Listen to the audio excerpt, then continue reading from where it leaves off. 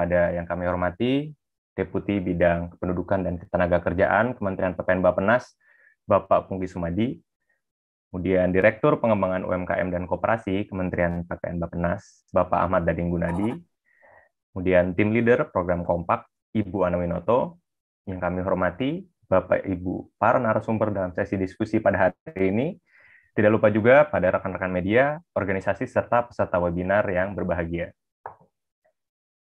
Kami ucapkan selamat datang dalam seri webinar ketiga Direktorat Pengembangan UMKM dan Koperasi Bapenas bersama dengan Kompak dengan tema penguatan akses informasi pasar bagi UMKM yang diselenggarakan secara virtual melalui aplikasi Zoom dan disiarkan langsung via YouTube live streaming pada hari Rabu 8 September 2021.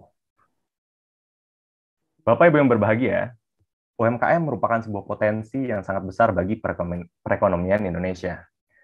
Namun, dalam pelaksanaannya, UMKM masih memiliki banyak tantangan dan kesenjangan dalam keberjalanannya.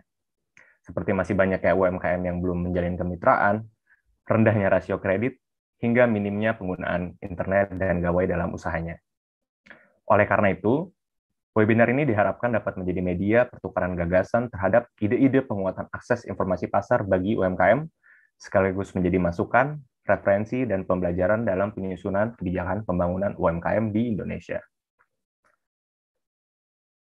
Bapak Ibu yang kami hormati, sebagai agenda pertama pada hari ini, mari kita mendengarkan sambutan pengantar yang akan disampaikan oleh Deputi Bidang Kependudukan dan Ketenagakerjaan Kementerian PPN Bapenas, Bapak Pungki Sumadi. Pada Bapak Pungki, waktu dan tempat dipersilahkan. Terima kasih Pak Muhammad Abizar. Assalamualaikum warahmatullahi wabarakatuh. Selamat pagi Ibu dan Bapak yang saya hormati.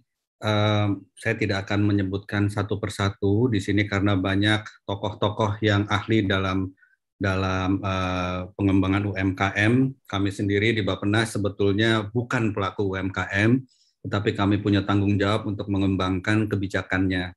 Selama beberapa tahun terakhir, sejak keterlibatan saya di bidang UMKM, saya melihat bahwa banyak hal yang salah yang perlu kita perbaiki dalam pembinaan dan pengembangan UMKM di Indonesia. Karena kita melihat bahwa sampai sekarang ini sekitar 93 persen UMKM kita itu masih berjalan sendiri-sendiri. Mereka merasa bahwa oke okay, saya punya usaha dan saya bisa kembangkan sendiri dan saya bisa menjualnya.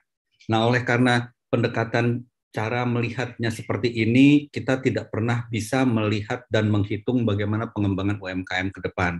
Bertahun-tahun saya bersama Pak Dading misalnya ingin melihat berapa sih UMKM yang naik kelas dari katakanlah dia pelaku mikro menjadi usaha kecil dan segala macamnya seperti itu. Kita juga melihat bahwa eh, akhir-akhir eh, ini 98% UMKM kita mengalami berkurangnya pesanan distribusi juga tidak mudah mereka lakukan. Kemudian apalagi untuk mem, mem, uh, uh, menyalurkan, uh, memperoleh bahan bakunya. Apalagi kalau kita melihat bahwa kita sekarang ini adalah momentum yang paling baik untuk mendorong ekspor, peran mereka dalam mendorong ekspor itu masih kecil sekali, hanya sekitar 14 persen kontribusinya. Nah, jadi dari sini kita melihat bahwa banyak hal sebetulnya yang perlu kita lakukan. Nah, apalagi dalam masa pandemi ini, kita melihat bahwa terjadi perubahan besar dari pola kita membelanjakan uang untuk uh, untuk konsumsi kita. Misalnya kita tahu bahwa uh, uh, 51 persen konsumen baru yang melakukan belanja uh, uh, pada saat PSBB kemarin ini. Kemudian 78 persen konsumen pernah melakukan pembelian produk, barang, jasa secara online. Kemudian 87 persen konsumen belanja daring menggunakan desktop atau komputer gitu. Jadi dari sisi orang yang ingin belanja sudah mulai menggunakan banyak eh, eh, eh, perangkat-perangkat informasi dan teknologi. Sayangnya para pelaku UMKM kita itu masih banyak sekali yang tidak berhubungan atau tidak terhubungkan dengan informasi dan teknologi yang baru. Nah, jadi di sini yang menurut kami penting untuk melihat cara kita menangani UMKM dengan berbeda. Pada waktu saya masih SD sampai kira-kira universitas, saya masih mendengar bahwa banyak penyuluh-penyuluh lapangan yang membantu para petani kita. Tapi sekarang bukan berarti penyuluh itu tidak diperlukan. kita tetap membutuhkan mereka, terutama dalam mengembangkan UMKM. Alangkah tidak adilnya kami merasa di Bapenas bahwa apabila perusahaan-perusahaan besar seperti yang ada kita ketahui kelompok eh, besar ke atas, misalnya di sini ada ada uh, bintang tujuh saja misalnya tadi ya Pak ya, pasti akan menggunakan konsultan untuk mengembangkan bisnisnya. Bagaimana mempelajari pola pergerakan pasar, bagaimana intervensi pasar dilakukan, bagaimana produk itu harus dikemas sedemikian rupa supaya bisa dibeli, laku dijual di pasar. Ini yang tidak dimiliki oleh para pelaku UMKM kita. Kami melihat bahwa sebetulnya ini bisa kita lakukan. Kita bisa terapkan memberikan pendampingan kepada mereka. Kita berikan mereka konsultan dalam tanda petik yang bisa mengajarkan mereka bagaimana memilih bahan baku, bagaimana memilih barang yang akan laku di pasar. Tujuan kita adalah membuat para UMKM itu bisa memproduksi barang dan jasa dan menjualnya syukur-syukur kalau dia bisa menjadi lebih banyak dan lebih banyak lagi. Ini yang ingin kita lakukan. Keberadaan kemajuan dari informasi dan teknologi sekarang memungkinkan itu terjadi. Data-data yang tadi kami sampaikan menunjukkan bahwa memang kita harus terhubung dengan dunia yang lebih besar. IT lah salah satu jawabannya, tetapi tidak cukup. Kita harus memiliki sekarang para pendamping yang tidak hanya berfungsi sebagai penyuluh lapangan, tetapi juga mengerti bagaimana membukakan akses pasar, akses permodalan, akses sumber daya dan dana yang lainnya bagi para pelaku UMKM kita. Di sinilah tema kita untuk acara pada pada pada pagi hari ini menjadi penting bagaimana kita bisa menggunakan informasi itu untuk membantu para UMKM kita. Karena informasi itu sebetulnya amat mudah dicari. Tersedia banyak tetapi amat sulit untuk mengumpulkan dan menganalisisnya dan menggunakannya sebagai cara kita membantu mengembangkan UMKM kita. Di sinilah menjadi penting acara pada pagi hari ini untuk kita uh, laksanakan secara bersama sehingga kita bisa dapat memperoleh manfaat yang berguna bagaimana mengembangkan informasi pasar yang ada untuk menjadi bahan bagi mendampingi para para pelaku UMKM kita. Saya mengucapkan selamat menjalankan seminar pada pagi hari ini. Semoga berhasil. Terima kasih banyak. Assalamualaikum warahmatullahi wabarakatuh. Waalaikumsalam warahmatullahi wabarakatuh. Terima kasih atas sambutannya Bapak Pungki. Berikutnya mari kita dengar sambutan kedua dari tim leader program Kontak, Ibu Ana Winoto. Kepada Ibu Ana, dipersilahkan. Selamat pagi Bapak Ibu sekalian. Assalamualaikum warahmatullahi wabarakatuh. Salam sejahtera, salam sehat buat kita semua. Senang sekali pagi ini bisa berkumpul dengan Pak Pungki, ada Pak Dading, Pak Daniel, Pak Simon, Pak Hari, dan juga Pak Jeff untuk membahas apa yang tadi disampaikan oleh Pak Pungki, bagaimana ini kita menghubungkan pelaku MKM dengan informasi pasar sehingga bisa meraih peluang-peluang yang ada di pasar. Mungkin kenapa informasi pasar itu penting, saya rasa kita semua sudah sadari dari apa yang disampaikan Pak Pungki tadi. Karena informasi pasar ini adalah entry point untuk peluang-peluang bagaimana para pelaku UMKM bisa merespon terhadap uh, potensi potensi untuk meningkatkan produk, produktivitasnya dan juga untuk menguasai pasar. Untuk itu saya akan melengkapi apa yang tadi sudah disampaikan oleh Pak Pungki dengan sebuah cerita yang mudah-mudahan akan menggambarkan hmm, kenapa penting informasi dan akses pasar itu. Salah satu wilayah uji coba kompak adalah di Trenggalek. Trenggalek itu di Jawa Timur. Ada sebuah kecamatan namanya Kecamatan Pule. Di situ masyarakat miskin banyak yang terlibat di pertanian, khususnya untuk uh, hasil tani adalah empon-empon atau uh, empon itu bahasa Jawa, intinya jahe, lengkuas, dan hal-hal seperti itu. Jadi di Kecamatan Pule ini sudah puluhan tahun itu menjadi budaya untuk menanam uh, jahe, tapi ya penghasilannya segitu-segitu aja. Jadi tidak banyak perubahan dari sisi penghasilan uh, petani dan masyarakat miskin yang terlibat dalam menanam uh, dan menjual jahe ini. Jadi dalam uji coba yang kita lakukan, salah satu prinsipnya adalah urun rembuk atau gotong royong. Intinya semua aktor harus terlibat, terutama aktor-aktor pasar.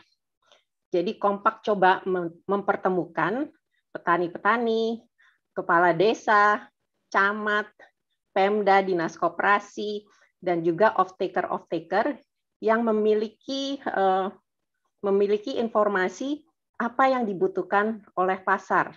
Dan saat itu memang ada uh, ada off-taker yang uh, menguasai pasar untuk uh, ini ya apa herbal dan juga untuk bumbu masak, minuman herbal. Ada beberapa uh, yang membutuhkan supply, tapi selama ini belum belum terpenuhi. Ada istilah tak kenal tak sayang. Jadi di situlah kita coba mempertemukan uh, aktor-aktor pasar dengan uh, potensi yang ada di Kecamatan Pule ini. Nah, informasi yang dibawa oleh aktor pasar adalah apa sebenarnya yang dibutuhkan, jenisnya itu apa. Ternyata jenisnya ya bukan jahe mentah, yang dibutuhkan adalah simplicia atau bahasa biasanya adalah bubuk jahe dalam bentuk bubuk untuk nanti diproses lebih lanjut menjadi eh, bumbu masak dan eh, minuman dan seterusnya. Bagaimana daya beli masyarakat terhadap produk tersebut? Harga yang pas itu seperti apa? Kan kita juga tidak mau supaya eh, petani-petani itu eh, rugi. Lalu selera konsumennya itu bagaimana? Banyak ke jahe kah atau banyak ke produk lain? Jadi di situlah dengan dari awal kita coba urun rembuk memikirkan, oke, okay, ini ada supply yang banyak, ada off taker yang membutuhkan, bagaimana gabung jurus untuk mengoptimalkan uh, apa uh, hasil empon-empon yang yang ada di Kecamatan Pule. Dan di situ uh, ad, lahirlah kesepakatan, oke, okay, kita nggak mungkin nih jalan sendiri-sendiri. Kita akan menggabungkan tiga desa membangun BUMDesma atau BUMDes bersama. Jadi tiga desa menggabungkan dana desanya untuk uh, uh, apa mendirikan bumdesma yang memang akan memproses memproses uh, empon-empon menjadi simplisia sesuai dengan kebutuhan pasar. Dan kalau nggak salah dari uh, laporan teman-teman, dulunya mungkin mereka itu demand terhadap simplisia, uh, demand terhadap uh, jahe dan pon-pon itu hanya sekitar 300 juta per tahun. Tahun ini uh, 300 juta per Agustus dan masih ada 400 juta lagi demand terhadap uh, supply empon-empon ini. Jadi beberapa pembelajaran uh, yang saya ingin share dengan Bapak Ibu sekalian bahwa kita harus membantu UMKM untuk bisa mengantisipasi kondisi pasar. Dan saat itu uji coba memang terancam dengan situasi pandemi. Tapi untungnya pada saat pandemi itu jamu-jamu laris manis. Jadi kebutuhan untuk empon-empon justru meningkat. Jadi dengan informasi terkini mengenai pasar, eh, pelaku UMKM Bumdesma itu bisa eh, beradaptasi, merubah, eh, mentransformasi apa yang sudah dilakukan sebelumnya sehingga lebih tepat, lebih menguntungkan, lebih dibutuhkan juga oleh pasar. Mungkin yang kedua yang saya ingin highlight bahwa aktor pasar itu diajak dari awal. Tadi Pak Pungki sudah menyampaikan pentingnya ada pendamping-pendamping ya yang punya sense, business sense dan juga punya insight mengenai uh, apa yang dibutuhkan dari pasar. Dan jika mereka terlibat dari awal, uh, ya akan lebih uh, tepat juga. Yang saya hargai dari teman-teman off taker termasuk dari Pak Simon ini dari bintang 7 tidak hanya melihat uh, atau tidak hanya mengambil uh, hasil dari Simplicia ini, tapi berinvestasi pada capacity building, membantu untuk uh, meningkatkan kapasitas petani dan juga proses uh, pengolahan itu agar lebih baik lagi. Jadi tidak hanya membeli terus uh, hit and run, tapi benar-benar berinvestasi pada peningkatan kapasitas dan itu yang kita inginkan untuk lebih jangka panjang. Jadi itu mungkin beberapa uh, catatan atau pembelajaran dari saya peran aktor-aktor pasar di sini uh, sangat penting. Di sini ada Blibli dan juga di sini ada bintang 7, ada juga ahli uh, market system sini Pak Daniel, ada juga tadi Bapak dari maaf dari Pak Hari Widodo ya dari Kementerian Perdagangan yang juga uh, sedang mengembangkan cara-cara bagaimana memperantarai antara UMKM ini dengan pasar. Untuk itu, memang dengan Bapenas, dengan Pak Pungki, Pak Dading, dan teman-teman di Bapenas, kita coba melakukan rangkaian eh, rangkaian seminar untuk membangun ekosistem. Eh, harus mulai dari pendampingan, yang tadi Pak Pungki ceritakan, juga bagaimana akses permodalan, dan di sini saya juga melihat peluang uh, aktor pasar tidak hanya untuk uh, untuk uh, sebagai ini ya, sebagai uh, yang membeli, tapi juga mungkin bisa menghubungkan dengan akses keuangan uh, bagi uh, pelaku UMKM. Dan hari ini kita akan fokus pada uh, topik informasi pasar. Mungkin uh, itu dari saya. Senang sekali kita bisa coba sama-sama membangun ekosistem sehingga contoh atau cerita sukses yang terjadi di Kecamatan Pule di Trenggalek tidak hanya terjadi di satu lokasi, tapi lebih banyak daerah yang juga mendapatkan keberhasilan, eh, bisa meraih keberhasilan, meningkatkan, eh, mengoptimalkan produktivitas UMKM yang potensinya sangat luar biasa untuk eh, pemulihan ekonomi kita. Mungkin itu Bapak Ibu sekalian, terima kasih, selamat berdiskusi. Saya akan ikut sampai akhir karena ini salah satu topik favorit. Eh, terima kasih sekali lagi. Wassalamualaikum warahmatullahi wabarakatuh. Waalaikumsalam warahmatullahi wabarakatuh. Terima kasih kepada Ibu Ana untuk sambutan yang telah disampaikan pada hari ini. Bapak Ibu hadirin yang berbahagia, selanjutnya kita akan masuk pada sesi pemaparan dengan topik penguatan akses informasi pasar bagi UMKM. Sesi ini juga akan dilanjutkan dengan sesi tanya jawab setelahnya. Izinkan saya untuk memperkenalkan para pemateri yang telah hadir bersama kita dalam sesi ini. Yang pertama ada Bapak Hari Widodo, selaku Direktur Pengembangan Pasar dan Informasi Ekspor, Kementerian Perdagangan. Kemudian ada Bapak Simon Jonathan, selaku Presiden Direktur PT Bintang 7. Kemudian ada Bapak Jeffrey L. Darmawan, selaku Senior Vice President Trade Partnership Merchant Sales Operation and Development di. Kemudian ada Bapak Daniel Nugraha, selaku consultant slash advisor, market system development and private sector promotion. Sesi ini akan difasilitasi oleh Bapak Ahmad Dading Gunadi, selaku Direktur Pengembangan UMKM dan Koperasi Kementerian PPN Bapenas. Selanjutnya, kepada Bapak Dading, waktu dan tempat dipersilahkan.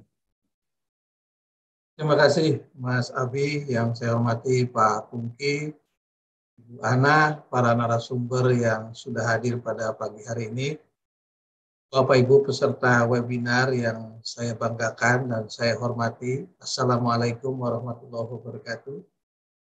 Kami, uh, saya sendiri akan memfasilitasi untuk uh, mengatur nanti jadwal para pemapar, para narasumber untuk menyampaikan Eh, bahan yang memang sudah kami minta dari panitia. Nanti ada beberapa aturan untuk peserta yang ingin mengajukan pertanyaan, silakan menuliskan di kolom Q&A. Eh, ya, jadi eh, mohon tidak di chat menuliskannya, tetapi di Q&A ada di sana. silakan diklik nanti ditulis pertanyaannya. Nanti kami akan menyampaikan pertanyaan ini kepada para narasumber. Baik, Bapak Ibu yang saya hormati, tadi disampaikan bagaimana pasar ini sangat penting bagi UMKM, di mana UMKM akan dihadapkan kepada kondisi pasar yang sering kali berubah. Baik itu model yang sekarang ini selalu berubah, selalu beradaptasi, Kemudian mengenai selera dan daya beli konsumen juga tadi juga disampaikan Pak Kubi sangat-sangat sering kali berubah. Kemudian harga dan kualitas produknya juga yang diinginkan oleh konsumen juga sering kali selalu menyesuaikan. Namun demikian UMKM harus terus melakukan upaya untuk mengatasi tantangan dan pasar yang dinamis. Nah, dalam mencari, kemudian memelihara dan memperluas pasar, banyak tantangan dan kendala yang dihadapi pasti oleh UMKM. Bagaimana UMKM melakukan upaya-upaya ini dan bagaimana sistem pemasaran yang ada, ini sangat penting untuk digali. Oleh karena itu kami nanti mengundang Pak Daniel untuk uh, berbicara mengenai ini. Nanti kita gali dari beliau perihal ini dan silakan bagi Bapak Ibu peserta untuk menyampaikan pertanyaan atau klarifikasi, klarifikasi kalau memang ada yang perlu dijelaskan lebih lanjut di dalam paparannya. Kemudian untuk menjaga pasar juga ada yang berkelanjutan, jaminan harga yang layak, serta kualitas produk yang baik. Dan sedikit juga UMKM yang sudah kontrak kerjasama atau menjalin kemitraan tadi disampaikan Pak Pungki juga, dan Bu Ana tadi memberikan contoh, itu oh, sudah banyak berjalan. Dan perusahaan besar berada di sisi marketnya dijamin marketnya. Nah, ini gambaran praktek baiknya nanti akan disampaikan lebih jelas oleh Pak Simon yang berpengalaman tadi di Trenggalek dalam uh, kerjasama dengan petani jahe atau yang lainnya nanti Pak Simon bisa. Kemudian juga tentu uh, eh, UMKM juga uh, banyak yang melakukan pemasarannya secara online, baik itu secara langsung ataupun melalui wadah ada wadah-wadah online untuk pemasaran yang sekarang sangat-sangat berkembang. Nah, bagaimana tantangan dan pemanfaatan dari e-commerce ini bagi pelaku UMKM nanti akan dikupas lebih dalam oleh Bapak Dermawan dari eh, Libi, ya, Libi.com. Kemudian tidak kalah penting tentu kita UMKM ini juga perlu memperluas pasar. Dari sisi pemerintah kita sudah punya target untuk meningkatkan pangsa pasar ekspor, terutama UMKM terhadap ekspor nasional. Sekarang ini baru sekitar 14 persen dari dari angka yang sudah disampaikan Pak Pungki.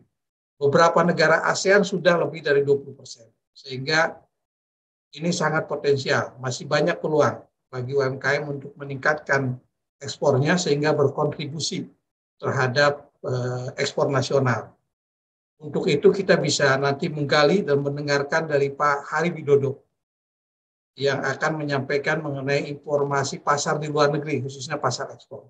Jadi lengkap ini kita bicara di domestik, kita jaga pasar bagi UMKM dan bagaimana peluang pasar di luar negeri. Ini akan disampaikan lengkap dari empat narasumber. Insya Allah ini sangat-sangat kompeten eh, para narasumber. Baik, saya akan memulai dari narasumber yang pertama. Ada aturan main juga untuk para narasumber. Mohon nanti waktunya sekitar 15 menit. Nanti saya akan memberitahu sekitar 3 menit sebelum waktunya agar nanti bersiap-siap untuk menyelesaikan uh, penjelasan atau paparannya. Baik, untuk kesempatan pertama, waktu dan layar kami persilakan kepada Bapak Daniel Nugroho. Bapak Daniel Nugroho ini adalah sebagai konsultan, advisor, Market System Development and Private Sector Promotion. Waktu dan layar kami persilakan. Baik, terima kasih banyak Pak Dading. Selamat pagi rekan-rekan sekalian. Uh, di dalam kesempatan ini saya akan mencoba menjelaskan terlebih dahulu tentang pendekatan market system development secara singkat dan masuk ke dalam tantangan perkembangan dan akan berusaha untuk address beberapa isu tadi yang sudah disampaikan oleh Pak Pungki, Bu Ana, dan Pak Dading. Ya. Jadi saya akan memulai uh, cerita ini dengan sebuah ilustrasi. Jadi ketika kita memiliki seorang anak ya dan anak yang kita miliki kesayangan kita ini sakit demam berhari-hari. Uh, next Mas Nopi. Lalu apa yang biasanya kita lakukan gitu? Nah, uh, biasanya reaksi yang paling normal adalah oke okay, kita berikan obat panas agar demam itu turun. Tetapi pertanyaannya adalah apakah sebenarnya ini sudah selesai masalahnya ya? Apakah tidak ada masalah lain? Sebenarnya kita paham bahwa di dalam uh, cerita seperti ini uh, memberikan obat panas saja itu tidak cukup ya. Uh, karena obat panas itu hanya menyelesaikan simptom atau gejala dari suatu masalah gitu. Nah, yang tentu saja kita lakukan adalah kita mencari tahu mengapa anak anak tersebut demam selama berhari-hari. Nah, penyebabnya bisa macam-macam. Bisa kemungkinan karena anak tersebut uh, terkena gigitan nyamuk, nyamuk demam berdarah dan ketika kita telusuri ternyata di sekeliling uh, rumah dari anak tersebut ada genangan air ya, yang menyebab menjadi sarang itu. Kemungkinan yang pertama. Kemungkinan kedua bisa juga karena anak tersebut mengkonsumsi air yang uh, tercemar, jadi air yang memiliki kandungan mikroba yang tinggi dan setelah ditelusuri ternyata mungkin di daerah tempat anak tersebut hidup polusi sungai itu menjadi suatu permasalahan yang besar. Nah, dari di sini kita bisa melihat bahwa anak dan permasalahannya, uh, kesejahteraannya, kesehatannya itu sangat dipengaruhi oleh lingkungan atau ekosistem atau sistem yang tadi ya kita sebut uh, kita sudah awali bersama-sama di mana dia hidup gitu. Nah, permasalahan yang dihadapi maupun juga Eh, penyebab-penyebab dari permasalahan tersebut sebenarnya juga ada di dalam sistem tersebut. Next, Mas. Ya. Nah, inilah yang sebenarnya di eh, menjadi eh, menjadi prinsip utama di dalam pendekatan sistem pasar atau pengembangan sistem pasar. Di dalam pendekatan sistem, kita tidak hanya melihat UMKM dan permasalahan mereka secara uh, satu ya, secara maksudnya kita hanya berfokus pada hal tersebut, tetapi kita melihat UMKM ini sebenarnya adalah bagian dari sebuah sistem. Ya. Nah, pada umumnya UMKM ini menjadi produsen barang dan jasa dan mereka menjual di dalam uh, mereka menjadi bagian dari satu rantai pasok atau rantai nilai ya. Jadi UMKM berhubungan dengan pedagang, mereka menjual barang jasa pedagang, bisa juga mereka mensuplai industri pengolahan, dan bisa juga mereka menjual langsung ke konsumen akhir. Nah dari sini aja kita bisa melihat bahwa uh, sistem rantai nilai di mana satu UMKM ini eh, tertanam di dalamnya itu bisa memiliki bentuk yang beragam. Ya. Nah yang kedua di sebelah kiri Bapak Ibu bisa lihat di situ bahwa UMKM di Indonesia ini tersebar di sektor berbagai macam sektor ya. Secara umum kita golongkan sektor pertanian dan non pertanian. Nah di dalam sektor pertanian sendiri ada banyak komoditas atau subsektor di dalam sektor non pertanian uh, seperti grafik yang disampaikan di situ bisa dilihat bahwa uh, sebagian besar bergerak di bidang perdagangan, jasa maupun hotel, akomodasi dan makan minum. Nah, uh, ini adalah poin kedua yang ingin saya sampaikan bahwa di dalam um, sistem pasar kita melihat kita harus mampu melihat secara spesifik sistem uh, yang memang menjadi satu tempat di mana UMKM tersebut ada di dalamnya. Karena kita tidak bisa membuat satu generalisasi bahwa UMKM itu memiliki permasalahan yang sama lintas sektoral. Memang pada umumnya kita melihat misalnya akses to finance atau akses informasi ini adalah satu kesulitan yang sifatnya menyeluruh ya, maksudnya semua UMKM uh, memiliki kesulitan di situ. Tetapi penyebabnya maupun solusinya itu akan sangat berbeda sekali. Tadi seperti yang tadi uh, Ibu Ana Winoto sudah sampaikan misalnya di dalam konteks uh, biofarmaka, maka informasi pasar yang dibutuhkan spesifik untuk komoditas biofarmaka, uh, spesifikasi teknisnya juga tertentu. Nah, sama juga seperti pasar ekspor, pasar ekspor memiliki uh, informasi pasar yang berbeda, uh, requirements untuk ekspor, sertifikasi maupun hal-hal teknis lainnya juga spesifik terhadap satu produk tertentu di satu pasar tertentu. Nah, sehingga kita bisa melihat bahwa akses informasi itu memang satu hal yang dibutuhkan, tetapi permasalahannya, sumbernya di mana, penyebabnya apa, dan solusinya itu memang bisa. Nah, poin ketiga yang ingin saya sampaikan di dalam pendekatan sistem pasar ini bahwa rantai nilai ataupun rantai pasok yang berkinerja baik, berperforma tinggi, memiliki daya saing yang baik, bisa berkembang. Itu selalu didukung oleh fungsi-fungsi atau jasa-jasa. Ya. Jadi uh, di sini saya sebutkan beberapa misalnya uh, tentang fungsi penyediaan informasi pasar, uh, e-marketplace yang nanti akan disampaikan dibahas lebih lanjut oleh Pak Jeffrey. Uh, ada fungsi jasa logistik, ada penyediaan input produksi, pelatihan, keuangan dan lain-lainnya. Nah, fungsi-fungsi ini yang sering kali uh, masih lemah atau tidak ada uh, di dalam rantai pasok atau rantai nilai yang melibatkan UMKM gitu ya. Mari kita coba slide selanjutnya. Ya. Nah, sebenarnya apa sih yang menjadi kebutuhan uh, eh, UMKM berkenaan dengan informasi atau saya dalam tanda kutip ya informasi pasar. Jadi UMKM memang membutuhkan informasi ini untuk mengambil satu keputusan usaha. Nah, keputusan usaha seperti apa? Misalnya mereka merencanakan suatu produksi suatu produk ya, uh, tentu saja desainnya, materialnya, uh, dimensinya, uh, mereka harus menyesuaikan itu dengan kebutuhan pasar ya, dengan permintaan. Nah, tetapi kembali lagi permintaan dari siapa? Apakah itu dari permintaan pasar lokal, ataukah itu permintaan dari eksportir, atau itu permintaan dari customer, tentu saja informasi tersebut akan berbeda, gitu ya, bergantung kepada uh, market di mana mereka uh, menyediakan barang dan jasa. Ya.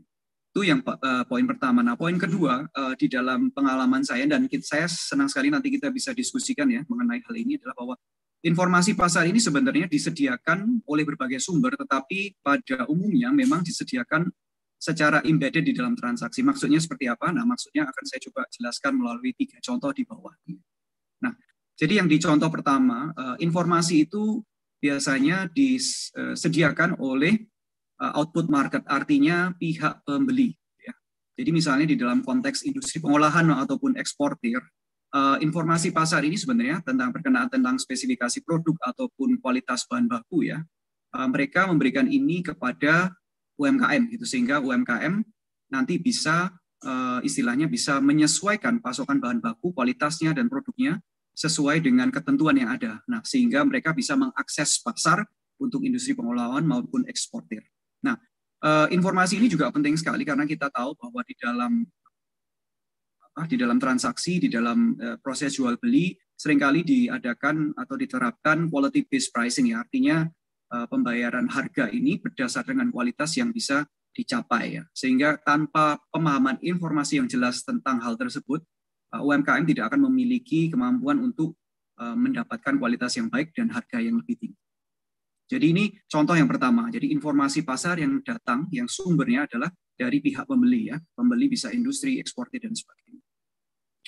Nah, di contoh yang kedua ini adalah informasi pasar yang datangnya dari pihak uh, penyedia. Penyedia misalnya ini adalah penyedia input pertanian ya. Saya mengambil contoh dari pertanian. Uh, penyedia input pertanian bisa seperti misalnya uh, produsen benih, toko-toko, kios-kios pertanian di desa yang menjual pupuk, pestisida dan dan produk-produk lainnya. Nah, UMKM di sektor pertanian yang adalah konsumen atau klien mereka itu mendapatkan informasi dari penyedia input tersebut. Jadi pada umumnya penyedia input pertanian ini selain memberikan uh, advice ya kepada petani, mereka kadang-kadang juga melakukan training pertemuan petani, mereka menyelenggarakan demplot di mana UMKM pertanian datang di sana. Lalu mereka mendapatkan informasi, oke okay, selain uh, fungsi-fungsi dari input yang mereka jual, mereka kadang-kadang juga menyampaikan uh, tren pasar, misalnya kalau berkenaan dengan sayuran, gitu ya produk sayuran apakah yang sekarang saat ini sangat digemari, atau misalnya bila ada sayuran tertentu di satu uh, lokasi tertentu uh, harganya kurang baik, uh, mereka bisa menyampaikan oh di uh, provinsi yang lain, di pasar-pasar yang lain masih ada kebutuhan yang lebih banyak. Nah, sehingga informasi ini uh, dapat dikatakan disampaikan oleh penyedia input pertanian dari sisi penjual kepada UKM sebagai klien, sebagai konsumen ataupun sebagai pembeli. Nah, ini adalah contoh yang kedua. Nah, di contoh yang ketiga ini adalah informasi pasar yang diberikan oleh third party provider. Uh, ini hanya salah satu contoh saja. Uh, misalnya di dalam konteks sekali lagi pertanian, uh, kita melihat UMKM pertanian yang menjual produknya di pasar. Uh, mereka saat ini sudah mendapatkan informasi tentang harga harian, volume penjualan harian, komoditas-komoditas pertanian ya. Jadi uh, disediakan saya tahu yang setahu saya dari Kementerian Perdagangan ada, dari pertanian juga ada, di setiap dinas-dinas di uh, kabupaten ataupun provinsi yang memiliki pasar besar, skala besar pasar grosir, mereka juga biasanya menyediakan informasi-informasi ini. Uh, dalam hal ini pemerintah ataupun kadang-kadang asosiasi mendapatkan informasi dari para pedagang pasar yang menyampaikan informasi tentang transaksi harian. Nah, di dalam model ini tentu saja ada pihak ketiga yang tidak terlibat di dalam satu transaksi, tetapi mereka menyediakan informasi tersebut kepada UMKM sehingga UMKM bisa melakukan production planning, bisa mengorientasikan uh, produksi mereka tentang apa komoditasnya secara lebih baik.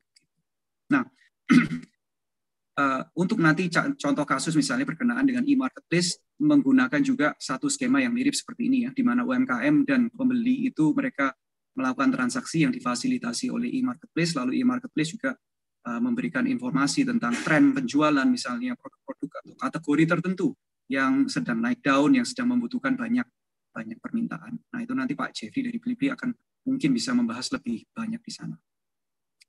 Nah last, last but not least ini adalah tentang uh, tantangannya. Jadi kita melihat uh, penyediaan informasi, informasi pasar itu bisa di dalam berbagai bentuk, ya, bisa dari berbagai macam sumber, dan memang uh, pada kebanyakan itu embedded di dalam sebuah transaksi ya, transaksi perdagangan, transaksi usaha. Tetapi yang menjadi masalah adalah seperti yang tadi Pak Pungki sampaikan di awal, permasalahannya adalah banyak sekali UMKM ini yang tidak terhubung dengan baik dengan uh, output maupun input markets ya. Jadi mereka memproduksi sesuatu uh, terpisah ya, terpisah atau tidak terkoneksi dengan baik dengan, rantai nilai ataupun supply rantai supply yang yang ada gitu sehingga agak sulit sulit sekali oleh mereka untuk mendapatkan informasi yang memadai dan cukup. Nah, di sinilah saya melihat bahwa fungsi keperantaran pasar atau market linkages ini sangat penting sekali. Nah, market linkages ini atau fungsi ini adalah fungsi yang bisa di, uh, dijalankan oleh pemerintah pusat maupun pemerintah daerah juga, di mana pemerintah bisa memfasilitasi, mempertemukan ya. Jadi dari pihak UMKM yang membutuhkan membeli tetapi juga dari pihak industri uh, ataupun dari pihak pelaku pasar lainnya yang sebenarnya membutuhkan supply dari UMKM. Nah, di sini Daniel, ada satu tiga menit ya. lagi Pak Daniel. Ya, baik Pak. Nah, di sini ada satu gap yang bisa diisi. Nah, poin yang kedua adalah tantangan yang kedua adalah bahwa uh, model usaha yang seperti saya sebutkan di contoh satu dua tiga ini sebenarnya model usaha yang uh, bukan apa ya istilahnya ya yang sudah lebih advance gitu ya. karena model usaha pada umumnya itu sifatnya konvensional yang kita biasanya kenal dengan beli putus ya. Jadi artinya UKM bertransaksi dengan penjual maupun pembeli cuman sekedar transaksi jual beli dan sudah. Sehingga tidak ada fungsi-fungsi tambahan seperti informasi training dan hal, -hal lainnya. Nah eh, fungsi-fungsi ini sebenarnya sangat menguntungkan baik bagi kedua belah pihak ya bagi UMKM maupun juga dari pembeli mereka tetapi butuh dukungan untuk pengembangan satu model usaha yang memang uh, memiliki fungsi-fungsi tersebut.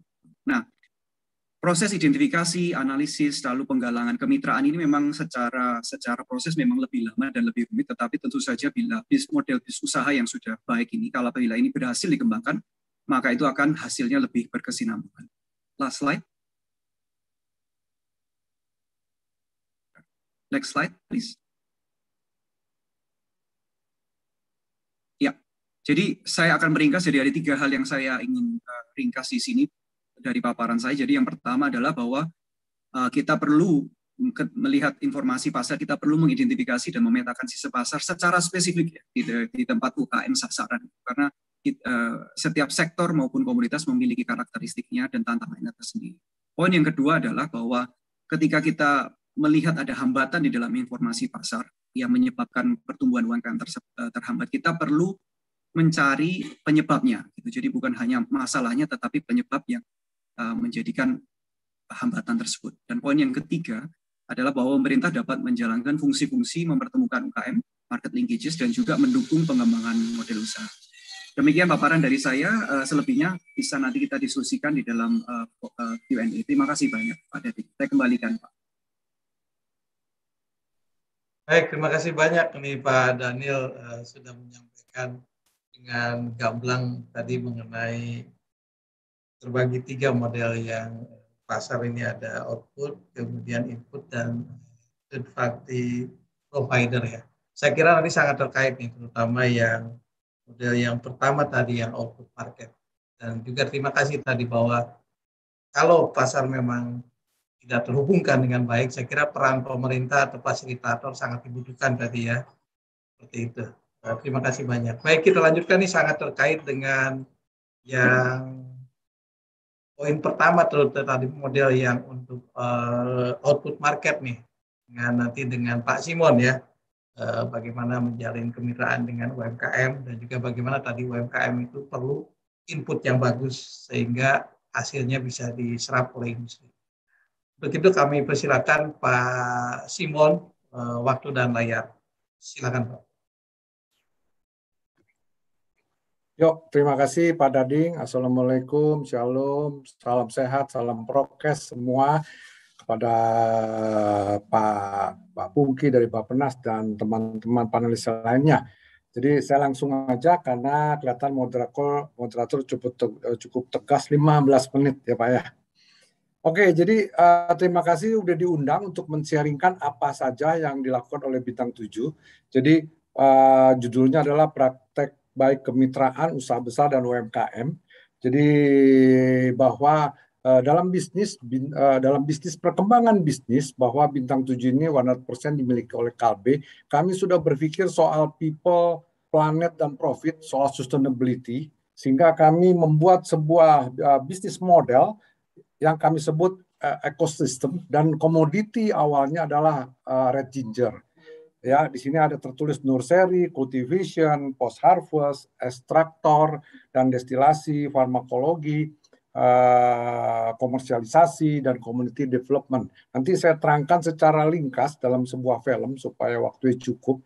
Uh, kenapa uh, kenapa kami buat kenapa dengan pemikiran people, planet, profit dan sustainability sehingga kami buat sebuah ekosistem yang terdiri dari tujuh hal ini. Jadi uh, uh, Pikanya adalah karena kami Bintang 7 di, mengembangkan diri menjadi perusahaan menjual produk-produk herbal dan pada waktu pemenuhan pemenuhan bahan baku sustainability ternyata terjadilah yang namanya stock out karena sistem sistem uh, di Indonesia ini bahwa petani sulit sekali menjual langsung ke pabrikan dan pabrikan selalu berpikir untuk membeli bahan baku semurah-murahnya. Kalau bahan baku semurah-murahnya, akhirnya kan petani rugi dan tidak bisa uh, malas menanam dan akhirnya pabrikan juga kesulitan bahan baku. Jadi next slide, Sari. Sari, next slide. Saya terima kasih saya dibantu oleh Sari. Sari ini adalah head uh, bina, uh, head bina untuk uh, ekosistem petani ini. Jadinya uh, key pointnya dalam ekosistem kami adalah satu adalah creating market, pull demand. Artinya petani itu bisa tanam apa aja. Problemnya adalah bagaimana memarketingkan atau menjual produknya. Banyak petani kan kalau ada produk sesuatu yang naik naik mereka nanam rame-rame. Kemudian harganya jatuh. Karena jelas kalau dalam market ini uh, hukum supply dan demand ini kuat banget. Kalau supply bang, uh, besar, demand tetap harga akan jatuh. Kalau supply kurang, uh, demand kuat, harga akan naik. Nah ini banyak petani jatuh di sini. Dan yang kedua adalah kami memangkas SCM. Artinya supply chain-nya ini jangan kepanjangan. Jadi kami langsung berhubungan dengan petani, dan biasanya petani jual kepada tengkulak, kami rangkul Pak tengkulaknya, kita win-win, sharing ekonomi, artinya petani harus untung dengan harga yang pasti, eh, perantaranya tengkulaknya juga mesti untung, ya. Terus kemudian ekstrak eh, ekstraktornya mesti untung. Eh, bintang 7 sebagai koordinasi juga memang mesti untung, tapi kami kedepankan sharing ekonomi adalah bukan bersifat konglomerasi dari ujung ke ujung milik kami, bagaimana dari mulai ujung tetap milik petani, supply chain-nya tetap milik Eh, para pengusaha daerah UMKM UMKM eh, dan kami yang bersifat mengcreating demand dan penjualan. Dan kami jelas dalam hal ini perlu ada sebuah tim yang dibangun di bawah Sari untuk pendampingan. Bagaimana cara nanam yang baik, bagaimana bibit yang baik, karena ujungnya kami mau ada peningkatan edit value. Dengan adanya peningkatan edit value, semua bagian dari ekosistem ini akan uh, akan merasakan keuntungan. Jadi intinya adalah uh, dalam poin yang kami lakukan jangan terjebak UMKM punya problem cuman karena kurang modal kurang modal karena kami uh, memastikan bahwa bukan modal yang jadi masalah petani ya tapi bagaimana uh, bagaimana bisa terjadi sustainability barangnya dibeli karena cost, quality, dan delivery. Next slide, sorry. Nah, jadi outline-nya nanti saya terangkan sedikit tentang bintang 7, bagaimana ekosistem herbal bintang 7. Yuk, silakan Sari. Bahwa eh, Kalbe sebagai perusahaan public company 100% memiliki bintang 7. Investor pasti lebih senang kalau sebuah perusahaan yang sudah go public mulai berpikir soal sustainability, soal people, planet, dan profit. Nah inilah tugas dan aku sebagai anak perusahaan Kalbe untuk melakukan seperti ini. Next slide, Sari. Jadi Bintang 7 sendiri adalah perusahaan yang punya misi to provide health to everyone through affordable, anytime, anywhere, and on-the-go product for focusing on health supplement, upper respiratory, and natural product. Next. Nah, dalam pengembangan bagaimana eh, produk-produk herbal eh, di Indonesia, especially di bintang 7 bisa maju, kami punya misi adalah punya visi seperti ini loh, bahwa eh, Korea cuma punya satu herbal tapi terkenal seluruh dunia. Tapi Indonesia begitu banyak herbal, tapi nggak ada yang terkenal. Jadi pilihan kami memilih satu komoditi yaitu jahe merah. Nah inilah yang kami terangkan dalam namanya ekosistem herbal bintang 7. Next slide, sorry. Jadi dibentuklah sebuah divisi dalam bintang 7 yaitu namanya BINA, Bintang 7 Inovasi Natural, a division of PT Bintang 7 which is engaged in the business of natural raw material. Our vision is to become a world-class provider of natural raw material realized through a natural ecosystem and supported by a traceable and well-recorded system. Our mission is to provide natural raw material that are innovative to the highest quality, efficacious, and safe to support all industry at home and abroad. Next. Jadi, uh, what and why? An innovation of herbal ecosystem which is comprehensive from upstream to downstream in which there is a synergy of ABGC. Jadi kami kerjasama dengan akademisi, dengan dengan universitas, dengan uh, uh, LIPI, dengan BPPT, dengan Balitro, itu akademisi. Dengan bisnis artinya kami kerjasama, kami toll manufacturing karena kami tidak mau konglomerasi. Dengan government kami saat ini terima kasih karena sudah mulai kerjasama dengan Bapenas melalui kompaknya, bukan hanya di Trenggalek, kami juga kerjasama government uh, dengan Bupati Bondowoso, banyaknya kami bekerja sama dengan bupati-bupati di seluruh Indonesia, this is government, karena semua bupati pasti mau meningkatkan kesejahteraan petaninya uh, dan komunitas, artinya dengan para petani collaboration. Why? Herbal ecosystem is needed for the sustainability of supply and consistent quality of reginger through traceable and recorded system. Nah, di inilah uh, maka uh, kami buat yang namanya Nurseri, bahwa kami punya misi dan visi bahwa uh, sebuah pertanian atau herbal sangat tergantung dari bibit. Bagaimana bibit-bibit petani itu visi misi kami memakai bibit unggulan dari Balitro. Pengembangannya ada di nursery. Cultivation bagaimana kami mendampingi para petani supaya betul-betul bisa menanam, bisa menghasilkan yang tadi disebut oleh Ibu dari Kompak ya simplisiannya eh, yang memenuhi standar eh, quality, cost dan delivery. Artinya cost-nya masuk, mereka untung, tapi kualitinya memang terjamin. Post harvest bagaimana eh, panennya betul-betul bisa terkontrol dan hasilnya memenuhi cost karena kita tahu bahwa herbal itu sangat voluminus. Problemnya adalah kalau di Lombok atau ada di uh, di Nusa Tenggara atau ada di Kalimantan atau di Sumatera bisa betul-betul masuk ke uh, cost quality dan delivery ini dan bagaimana kami kerjasama dengan ekstraktor ekstraktor destilasi di di masing-masing tempat karena jelas bahwa makin panjang supply chain sebuah produk herbal itu makin uh, rawan dengan kontaminasi, makin rawan dengan rendahnya rendemen, makin rawan dengan uh, biaya yang tinggi. Farmakologi ini adalah soal edit value bahwa kami terus meneliti bersama para universitas bagaimana produk-produk herbal asli Indonesia betul-betul didukung oleh uh, science base, oleh clinical trial sehingga harga jualnya bisa naik.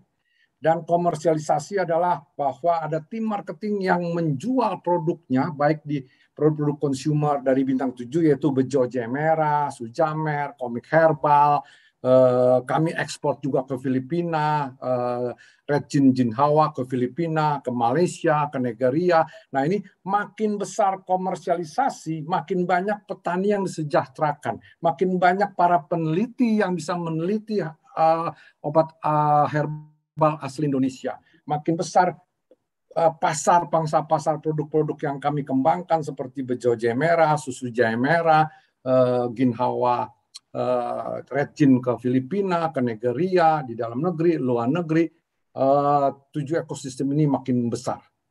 Ya, yang terakhir adalah community development bahwa uh, kami betul-betul betul-betul terbeban untuk membuat orang Indonesia cinta produk asli Indonesia. Ini kami ya nanti di film akan diterangkan. Why? Oke, okay, next slide. Sorry.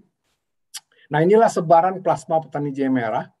Karena petani sebenarnya adalah eh, mikro usaha, bagaimana mereka bertani, menanam, beli bibit, tapi mesti untung. Nah, bagaimana kita pastikan petani-petani ini uh, bisa untung? Nah, untuk petani-petani ini belajar, untuk teman-teman Bapanes juga bisa belajar. Kami ini buat uh, sebuah showcase di Ciganea, luasnya 60 hampir 70 uh, uh, hektar di daerah Purwakarta menanam uh, madu karena kami mau ekstensifikasi dan intensifikasi. Bagaimana petani makin sejahtera dengan komoditi yang makin banyak, tapi berdasarkan base to ecosystem. Jadi inilah government-government bupati-bupati yang sudah kami rangkul dan kerjasama. Next slide. Sorry. Dan inilah foto-fotonya. Bandung, Tegal, Bali, Medan, Kuningan, Karanganyar, Trenggalek, dan Medan. Aktivitas kerjasama bidang studi petani adalah pelatihan, SOP kecocokan lahan, penyiapan lahan, pemilihan benih, pemeliharaan, hingga pengolahan pasca panen. Pendampingan, troubleshooting, pengolahan pasca papan. Nah, eh, untuk membuat ini makin komunikasi makin mudah, ya tim kami sudah membuat sebuah program digital eh, siapa aja petani yang nanam di mana tempatnya, lokasinya, kapan dia nanam, kemudian kapan dia harus panen, mereka bisa chatting. Nah, kami buat sebuah apps yang belum ada namanya, tapi sekarang disebut oleh timnya Sari namanya uh, Ejol istilahnya. Tapi itu sebuah apps untuk uh, komunikasi lebih cepat, ya, uh, kontrol lebih cepat, pendampingan lebih efektif. Oke, okay, nextnya, nextnya akan saya uh, ini soal uh, pasca panen. Pasca panen salah satunya government. Maaf Pak Simon, tiga menit lagi. Oke Pak, memang udah mau terakhir Pak. Terima kasih Pak Dading. Ya ini adalah uh, P4TO 44TO yang sudah uh, uh, kerjasama, sudah buat uh, uh, perjanjian dengan kami, yaitu P4TO adalah pusat pengembangan pasca panen tanaman obat. Ya punya Kemenkes diserahkan kepada government-government setempat di Bandung, Pekalongan, Bondowoso, Tabanan, Karangasem, Solok Selatan, di Mesuji, dan maunya katanya Kemenkes punya hampir 20 ya. Oke, nextnya slide-nya. Next slide-nya saya tutup dengan sebuah film yang untuk menyimpulkan dari awal sampai akhir. Silakan filmnya diputar sebagai bagian akhir presentasi saya pada Ding.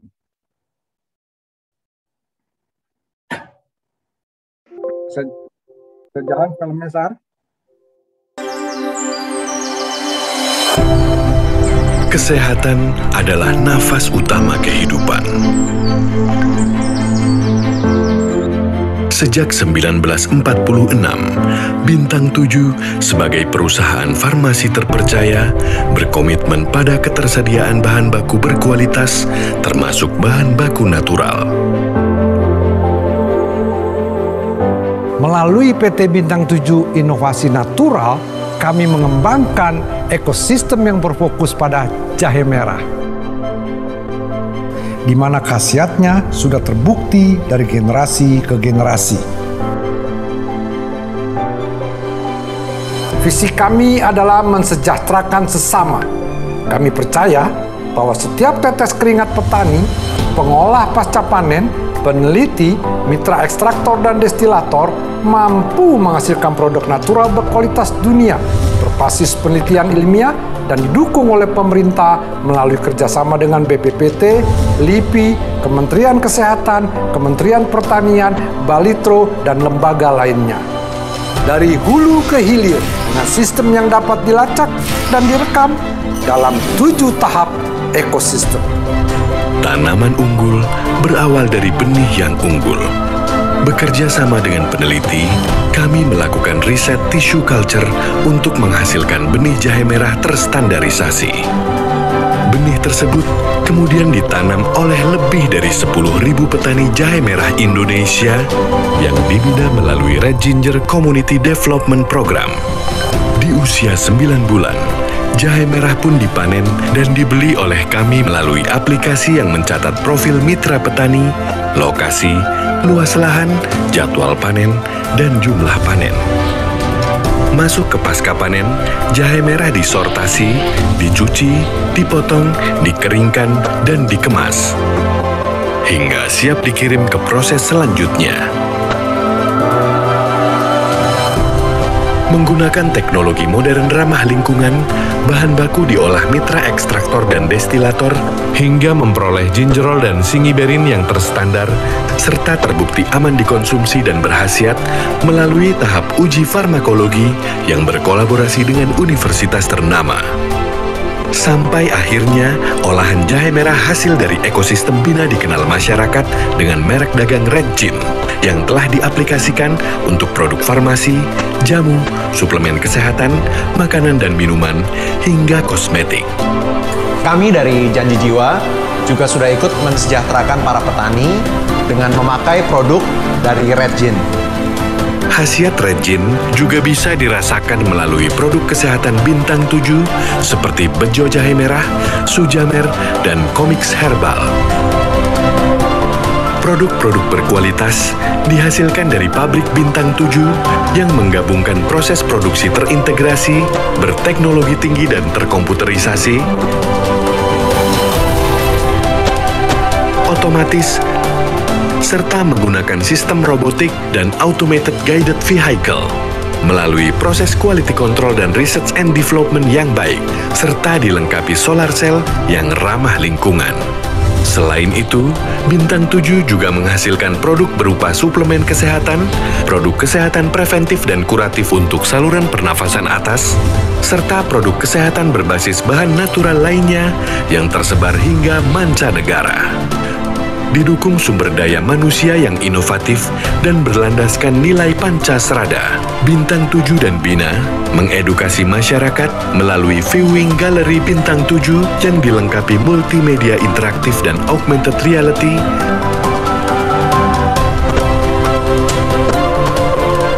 serta Taman Jahe Merah yang menampilkan miniatur ekosistem Bina sebagai perlambang kekayaan herbal alam Indonesia. Inilah persembahan kami untuk Indonesia dan dunia.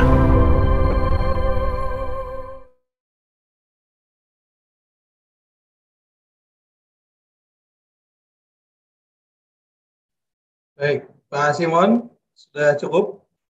Oke Pak, terima kasih itu akhir dari presentasi saya. Monggo saya kembalikan kepada Ding. Uh, siap, terima kasih banyak Pak Simon, ini luar biasa dengan penjelasan yang disampaikan Pak Simon, plus ini video yang semakin jelas apa yang sudah dilakukan. Jadi ini saya juga senang bahwa ini sudah tersebar di seluruh Indonesia mengenai kemitraan dengan tani UMKM. Jadi ada jaminan pasar, kemudian jaminan kualitas, ada pendampingan sehingga petaninya bisa meningkat dari sisi keterampilan ataupun kemampuan di dalam budidaya. Insya Allah nanti petani juga mungkin bisa lebih banyak lagi meningkatkan produk-produk atau menghasilkan produk-produk yang bagus ya, yang sesuai dengan eh, kebutuhan Indonesia ataupun nanti suatu saat UMKM-nya bisa langsung ke market ya. Saya kira terima kasih ini Pak Simon, eh, hal yang sangat bagus dan sangat mengapresiasi lah hasil karya yang sudah disampaikan Pak Simon kerjasama dengan UMKM. Baik, eh, sebelum itu, eh, sebelum nanti ke pasar yang domestik, saya ingin eh, melihat dulu peluang pasar di luar negeri ya. Karena saya yakin tadi UMKM-UMKM yang sudah bermitra ataupun tadi yang disampaikan sebelumnya ada potensi untuk bisa juga melakukan memanfaatkan pasar di luar negeri. Oleh karena itu saya mengundang Pak Hari Widodo untuk menggali mengenai informasi informasi pasar di luar negeri. Waktu dan layar kami persilahkan Pak Widodo. Baik, terima kasih Pak Dading. Bapak Ibu sekalian, eh, selamat eh, pagi. Salam sejahtera dan Assalamualaikum warahmatullahi wabarakatuh. Baik, Bapak Ibu sekalian, coba langsung ke slide pertama. Uh, saya ingin coba menjelaskan pertama kenapa uh, apa namanya uh, melihat perkembangan uh, globalisasi saat ini. Ini sangat uh, apa uh, memicu uh, pertumbuhan perdagangan dunia yang uh, tumbuh uh, uh, relatif uh, signifikan. Ya dalam era globalisasi ini uh, setidaknya ada dua hal strategis yang patut Eh, kita cermati yaitu yang pertama eh, adanya diberlakukannya perdagangan bebas di mana eh, secara bilateral maupun regional banyak negara telah melakukan kesepakatan kesepakatan perdagangan yang tentu saja hal ini akan meningkatkan akses pasar dan akan mengurangi hambatan-hambatan perdagangan yang yang sebelumnya ada. Uh, dan keadaan ini uh, telah mendorong kalau uh, pertumbuhan perdagangan dunia yang meningkat signifikan dan kalau kita lihat di grafik ini adalah pertumbuhan peran perdagangan dalam perekonomian global. Peran perdagangan dalam ekonomi global ini mengalami pertumbuhan yang sangat pesat seperti terlihat dari grafik ini. Dan uh, selanjutnya kalau unsur uh, strategis yang uh, lain selain daripada uh, globalisasi perdagangan uh, masih sebelumnya Mbak, uh, ya uh, apa globalisasi informasi yang cenderung semakin terbuka dan uh, merambah ke seluruh dunia di mana teknologi informasi telah semakin memungkinkan uh, antar berbagai negara dan individu untuk dapat uh, saling mengakses informasi. Nah, teknologi informasi inilah yang uh, tentunya juga membuka jalan bagi globalisasi produksi dan globalisasi pemasaran. Uh, kemudahan-kemudahan dalam hal akses informasi uh, pada saat ini pada era globalisasi ini akan uh, membuka peluang untuk uh, memperluas uh, apa memperluas uh, pasar produk kita di di, di mancanegara. Nah, kemudian yang jadi pertanyaan adalah apakah UKM kita UMKM kita sudah uh, dapat menikmati kemudahan-kemudahan daripada akses informasi tersebut. Nah, selanjutnya next. Nah, ini kalau apa uh, kontribusi dari uh, uh, ekspor uh, uh, UKM kita. Nah, ini uh, Bapak Ibu, kalau tadi Pak uh, apa Pak Sumadi menyampaikan sekitar 14 persen, tapi uh, kami mem, apa ya apa coba men, mela, uh, mendekati mendekati bahwa ekspor yang berskala UKM itu adalah ekspor Eh, perusahaan eksportir yang uh, nilai ekspornya maksimal 50 miliar uh, eh, 50 miliar rupiah sesuai dengan batasan apa namanya PP nomor 7 kalau nggak salah ya. Nah, ini jumlah eksportirnya itu ada sekitar 70 77 persen. Nah, sementara kontribusinya hanya sekitar 4,1 persen dan ini uh, apa tentunya inilah yang jadi uh, apa salah satu uh, kondisi yang mendorong pemerintah terutama uh, Kementerian Perdagangan untuk uh, me, apa, uh, memperkuat atau memberdayakan UKM untuk uh, ekspor. Jadi uh, apa uh, kontribusi apa namanya devisa ekspor yang dihasilkan oleh UMKM ini masih relatif kecil sekali, hanya 4 persen. Selanjutnya, dan nah ini kalau uh, apa uh, manfaat daripada informasi uh, ekspor bagi UKM, ya kami melihat antara lain itu adalah uh, yang pertama uh, mendapatkan referensi spesifikasi produk di negara tujuan ekspor yaitu antara lain berupa uh, apa selera konsumen, lalu standar, labeling, kemasan dan lain-lain. Uh, serta yang kedua adalah mendapatkan potensi bisnis dengan calon buyer di di luar negeri dan ketiga adalah meningkatkan pengetahuan dan wawasan mengenai prosedur ekspor, tren pasar dan lain-lainnya. Dan di sini juga kita akan mendapatkan hambatan apa namanya hambatan-hambatan perdagangan, hambatan-hambatan akses pasar di luar negeri. Kemudian ada kegiatan promosi dagang, pameran misi dagang yang sesuai dengan strategi pengembangan bisnis eh, eksportir serta uh, mendapatkan akses pasar ke lembaga pembiayaan ekspor dan uh, juga untuk memperoleh uh, skema perjanjian perdagangan yang uh, tentunya akan menambah uh, daya saing dari produk UKM itu sendiri. Dan dari manfaat apa namanya uh, uh, list manfaat ini kami coba membangun uh, sistem informasi yang untuk apa uh, sistem informasi untuk memenuhi kebutuhan uh, informasi pasar untuk uh, eh, UKM, terutama untuk UKM. Dan ini sarana komunikasi dan informasi yang sudah kami bangun itu di di Genpen ada Ina Export. Ina Export ini adalah sebuah aplikasi yang uh, boleh dibilang akan menghubungkan antara buyer di luar negeri dan uh, eksportir calon eksportir di di di, di, di, di, di dalam negeri. Jadi di situ uh, isinya ada ada um, apa eksportir yang uh, mengakses ini dan mendaftar uh, di login di Ina Export ini ini dapat menyampaikan e-katalog daripada produk-produknya.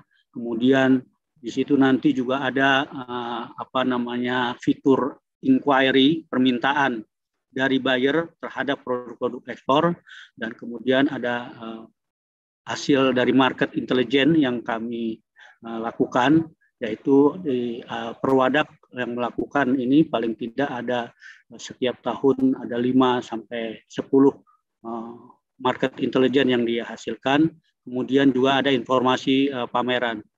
Dan sampai saat ini itu sudah ada sekitar 11.923 visitor, kemudian ada 348 uh, bisnis intelijen, lalu ada 3.600 eksporter dan 3.200 uh, produk yang sudah di, ditampilkan di, di, di, di Ina Export ini. Dan ini dibangun untuk uh, sebelumnya adalah secara fisik, artinya uh, eksportir atau buyer di luar negeri itu mengirimkan inquiry secara manual ke kita melalui email ataupun by phone.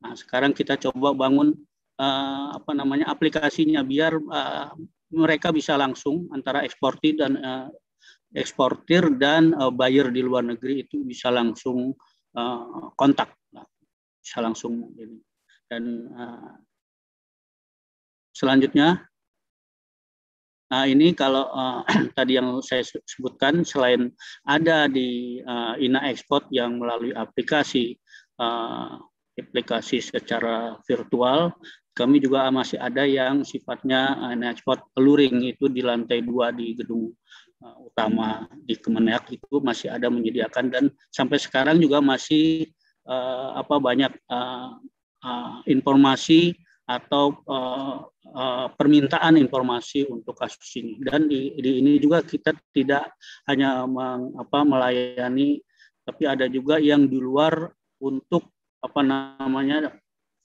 perwakilan-perwakilan perdagangan ya eh, perwakilan-perwakilan Republik Indonesia di luar negeri yang yang tidak ada perwadaknya. Jadi kalau seandainya ada perwadaknya dia bisa melalui perwadak, tapi kalau seandainya tidak ada uh, perwadaknya uh, mereka bisa uh, biasanya langsung ke ke kami nah, itu permasalahannya banyak sekali itu terkait dengan rata dengan UMKM ada yang uh, one prestasi sudah kirim DP tapi barang belum dikirim-kirim. Nah, itu itu biasanya di, di, dilaporkan di sini untuk uh, apa uh, penyelesaian informasi. Selanjutnya Nah, ini untuk selain yang uh, apa namanya tadi yang daring ataupun yang virtual, kami juga ada uh, yang sifatnya fisik dan uh, saat ini di masa pandemi ini ada kegiatan kami desiminasi hasil kegiatan bisnis intelijen yang dilakukan oleh Perwadak itu kami lakukan apa desiminasikan sosialisasikan kepada para pelaku usaha terbuka untuk umum ini sebanyak dua kali seminggu. Dua kali seminggu di setiap hari Selasa dan Kamis di pukul 14 itu rutin secara periodik kami lakukan uh, untuk uh, biasanya setelah ini uh, ada kelanjutan ada mis, uh, apa semacam uh, bisnis matching antara uh, antara B2B lah laku usaha antara eksportir dan uh, importir di luar negeri yang difasilitasi tentu saja dengan uh, perwadah kita. Selanjutnya Nah, ini sebaran daripada uh, perwakilan perdagangan yang ada di uh, dunia dari kita itu ada 46 perwakilan perdagangan yaitu yang terdiri dari uh, 19 ITPC, 24 atas perdagangan, satu konsul dagang dan satu KDI serta satu uh, duta besar WTO. Nah, dari sekian apa sekian perwakilan sekian banyak perwakilan ini ini mereka tugasnya adalah uh, melayani terutama uh, menyediakan informasi tadi terkait dengan market intelijen, bisnis intelijen dan dan hal-hal lain juga yang berkaitan dengan uh, akses pasar ke pasar uh, tujuan ekspor di masing-masing akreditasi. Dan kalau ada di ini kalau total negaranya ada sekitar 33 33 negara dan uh, pangsa ekspor non migas kita ke 33 negara ini cukup apa namanya sudah mendekati sekitar 94 persen dari dari total eh, ekspor uh, non migas di tahun 2020. Mohon Jadi, maaf Pak Hadi, ya. tiga menit lagi Pak. Oke, baik Pak. Ya, selanjutnya selain eh, informasi pasar tadi, ini juga kami ada pilot project uh, export center yang juga apa melayani apa uh, kebutuhan informasi uh, peluang pasar juga dan uh, apa kebutuhan-kebutuhan uh, UMKM lainnya yang kami coba masih ada kami coba bangun di uh, Surabaya dan kami harapkan akan berkembang di wilayah-wilayah lain untuk menjangkau uh, langsung ke daerah-daerah daerah-daerah apa namanya daerah-daerah produksi UMKM tersebut. Selanjutnya next Nah ini uh, uh, di next next ini adalah program-program uh, peningkatan kapasitas SDM yang ada di di Genpen yaitu adalah export coaching program, ada bisnis export coaching dan ada pelatihan virtual. Di sini juga ada yang ngobrol ekspor juga setiap hari Kamis. Itu juga uh, kami lakukan uh, apa namanya semacam ngobrol ekspor. Uh, selanjutnya Nah, ini program uh, peningkatan kapasitas uh, produk UKM. Jadi ada uh, kami memberikan pendampingan-pendampingan uh, terhadap uh, apa namanya untuk peningkatan uh, kualitas standar dan uh, daya saing mutu daripada produk-produk uh, UKM. Dan uh, tentunya ini tidak hanya di perdagangan, saya lihat ada di berbagai kementerian uh, di sektor pembina daripada uh, eh, UKM juga uh, melakukan hal yang sama pembinaan-pembinaan ini termasuk uh, tadi peluang-peluang akses pasarnya juga mereka uh, melakukan. Next.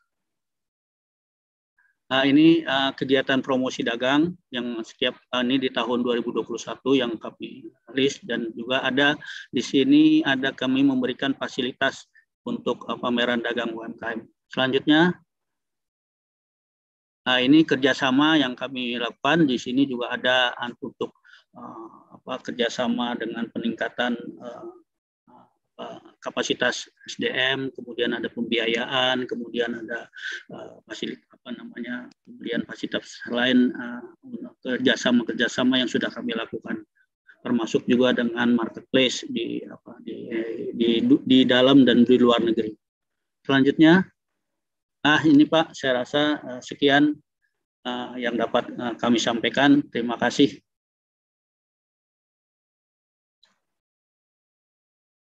Baik, terima kasih banyak Pak Hari Widodo ya. Jadi sudah sangat jelas tadi dukungan dari pemerintah memberikan informasi mengenai eh, pasar di luar negeri, baik itu bayarnya, kemudian spesifikasi produknya, dan juga ada peningkatan dari sisi SDM ya di dalamnya dan juga kualitas produknya.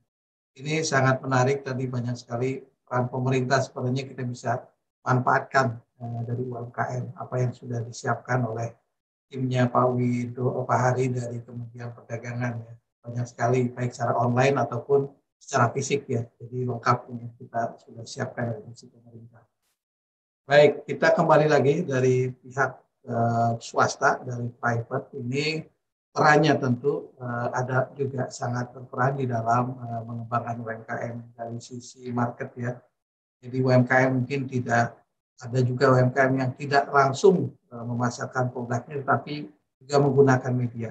Nah ini selanjutnya saya kira nanti bisa dijelaskan uh, lebih lanjut oleh Pak Jeffrey ya mengenai um, tantangan dan pemanfaatan e-commerce bagi pelaku UMKM. Waktu dan layar kami persilahkan Pak Jeffrey. Oke, okay, thank you. Terima kasih banyak Pak Dading. Uh, Oke, Mari. Terima kasih juga atas undangannya di acara kompak ini. Uh, kita dari Blibli mungkin kita akan mulai. Uh, dari Blibli sendiri kita dari untuk pembantu pendukungan UMKM kita ada membuat kanal yang namanya Galeri Indonesia. Ya, jadi dari sini memang kita khususkan adalah untuk produk-produk uh, uh, barang lokal Indonesia. Nah, uh, kita mulai aja langsung. Uh, di sini kita akan bahas dua hal, uh, satu mengenai riset pasar dan kedua adalah galeri Indonesia-nya itu sendiri.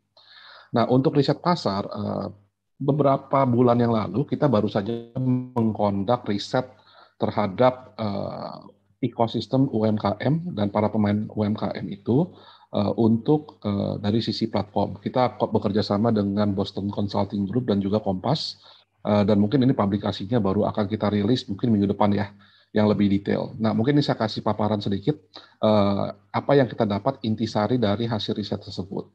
Nah, kita tahu juga bahwa di Indonesia ini eh, UMKM itu adalah faktor yang sangat penting dalam mendukung uh, pertumbuhan inklusivitas di Indonesia. Nah, di sini kita juga dapat secara garis besarnya, the top levelnya itu adalah 77% UMKM itu, itu mereka membantu uh, para lokal komunitas yang ada di sana sedangkan 23 persennya itu uh, mereka bekerja sendiri-sendiri. Nah, dari sekian banyak yang kita survei, 46 persen ini memandang bahwa uh, usaha mereka itu adalah uh, income utamanya mereka. Ya.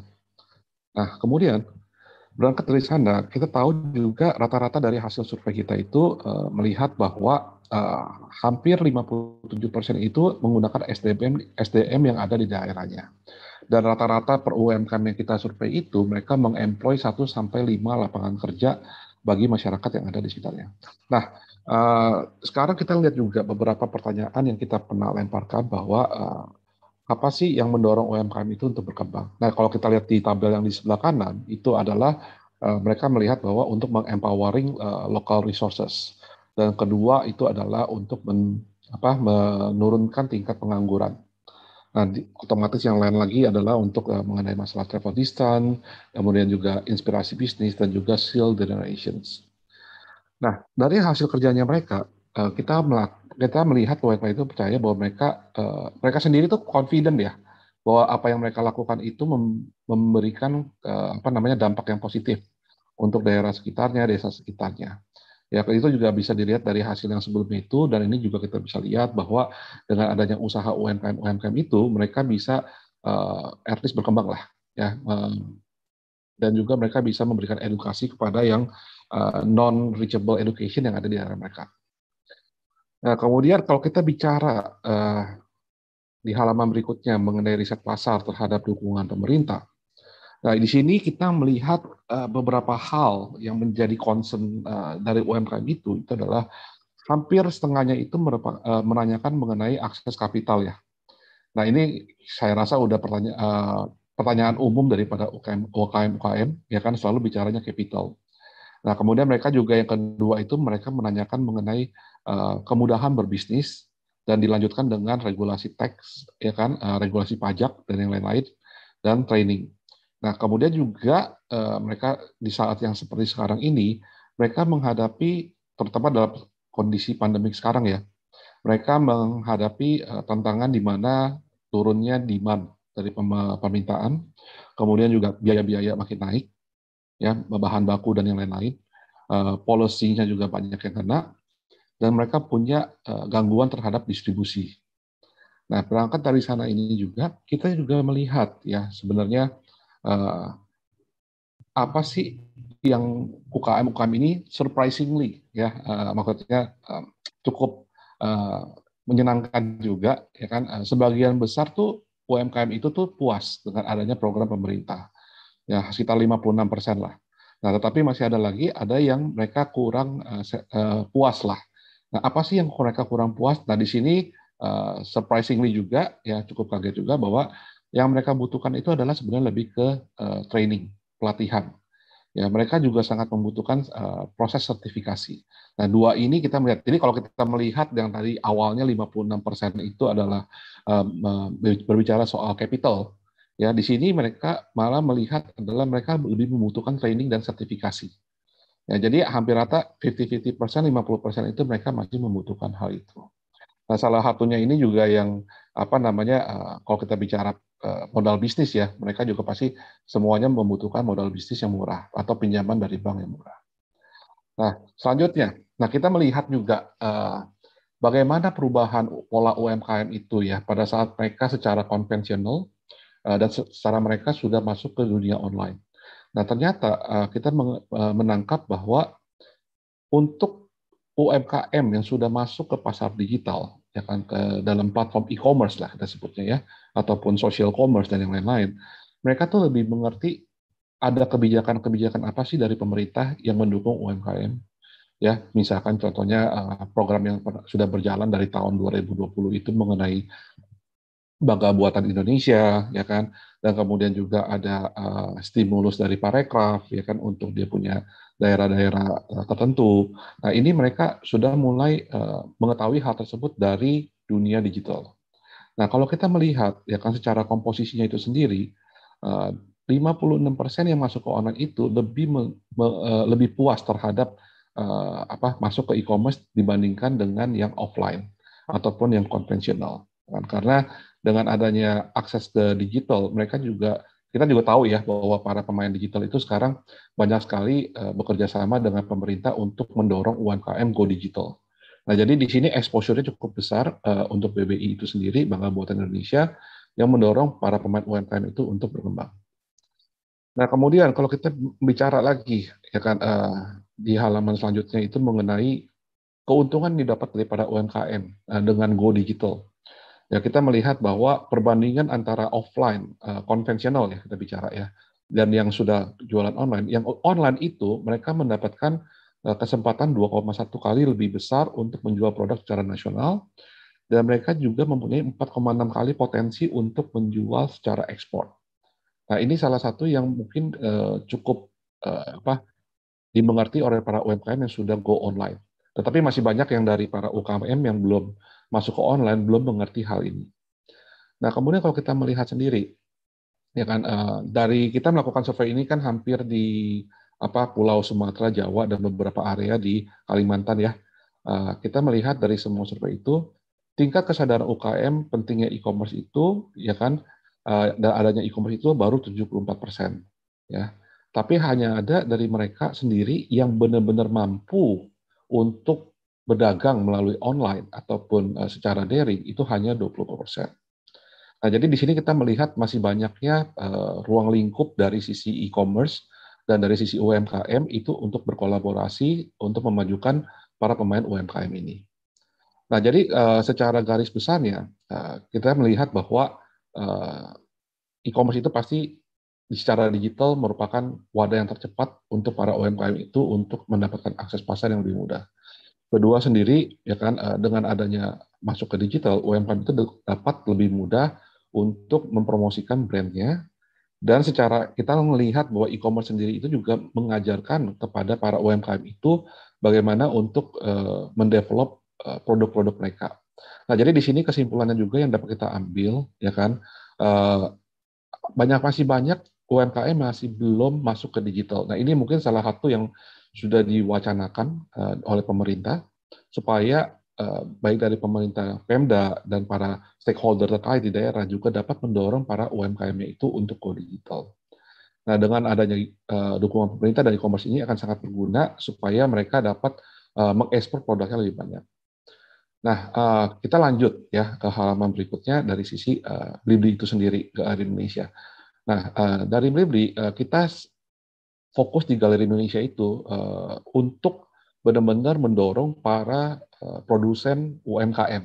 Nah, jadi kalau kita di Blibli uh, kita ada dua ya. Nah, kalau kita bicara UMKM itu adalah uh, definisi UMKM di kita, UMKM yang produsen itu akan masuk di Galeri Indonesia yang lokal. Sedangkan UMKM secara pedagang itu akan masuk ke kategori penjual secara umum. Ya, jadi di sini memang kita fokuskan satu kanal dari sisi Galeri Indonesia untuk mendorong produk-produk UMKM. Nah, otomatis itu bisa diakses melalui website maupun apps, ya kan. Uh, nah, di sini mungkin yang salah satu yang cukup uh, penting, uh, apa yang telah kita lakukan untuk mendukung uh, UMKM selama ini semenjak 2014 ya, kita sudah jalan. Selain dari website, ya kita juga mensupport dari sisi campaign ataupun flash sale.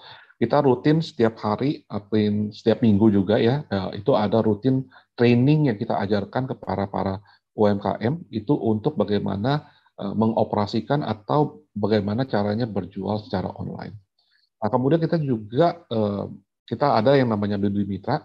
Kita juga melakukan bantu uh, mengakses produk-produk UMKM mana yang dapat kita bantu untuk kita channel melalui outlet kita di Blibli Mitra. Nah, kita juga punya yang namanya fulfillment by Blibli. Ini adalah salah satu supply chain solution ya untuk para pemain UMKM kalau mereka mempunyai keterbatasan dari sisi uh, operasional. Nah, otomatis kita juga punya uh, seller tutor ya yang untuk mengajarkan seller, seller care assistant, akses ya kan omni channel ya kan. Ini mungkin lebih ke retail ya kalau omni channel kita juga membantu dari sisi foto produk. Dan kita ada support seller juga UMKM hingga 5,6 juta. Dan kita selalu rutin banyak koordinasi secara logistik dan melakukan uh, so far sampai sekarang kita masih melakukan subsidi ongkos kirim ya uh, seluruh Indonesia. Nah, uh, Kemudian, terutama dari UMKM, kita melakukan insentifikasi dengan gamification. Nah, ini yang selalu banyak UMKM itu yang menganggap, oh saya sudah jualan di online, sudah daftar, sudah sudah upload, udah pasti jualan ya. Nah, ini ternyata uh, nggak seperti itu. Ya, kalau kita bicara, kalau dagang secara konvensional di satu daerah, paling kompetisinya paling cuma itu-itu aja. Nah, tapi kalau kita udah bicara di online, kompetisinya itu dengan jutaan uh, apa namanya uh, penjual di seluruh Indonesia. Nah, jadi di sini eh, kita melakukan satu insentifikasi dengan gamification, di mana kita memberikan berikan voucher untuk berpromosi dan juga kita memberikan subsidi dengan sales voucher. Jadi di sini kita mengarahkan untuk para seller itu, UKM itu, untuk bisa mengembangkan dari sisi penjualan dan juga beradaptasi dengan teknologi.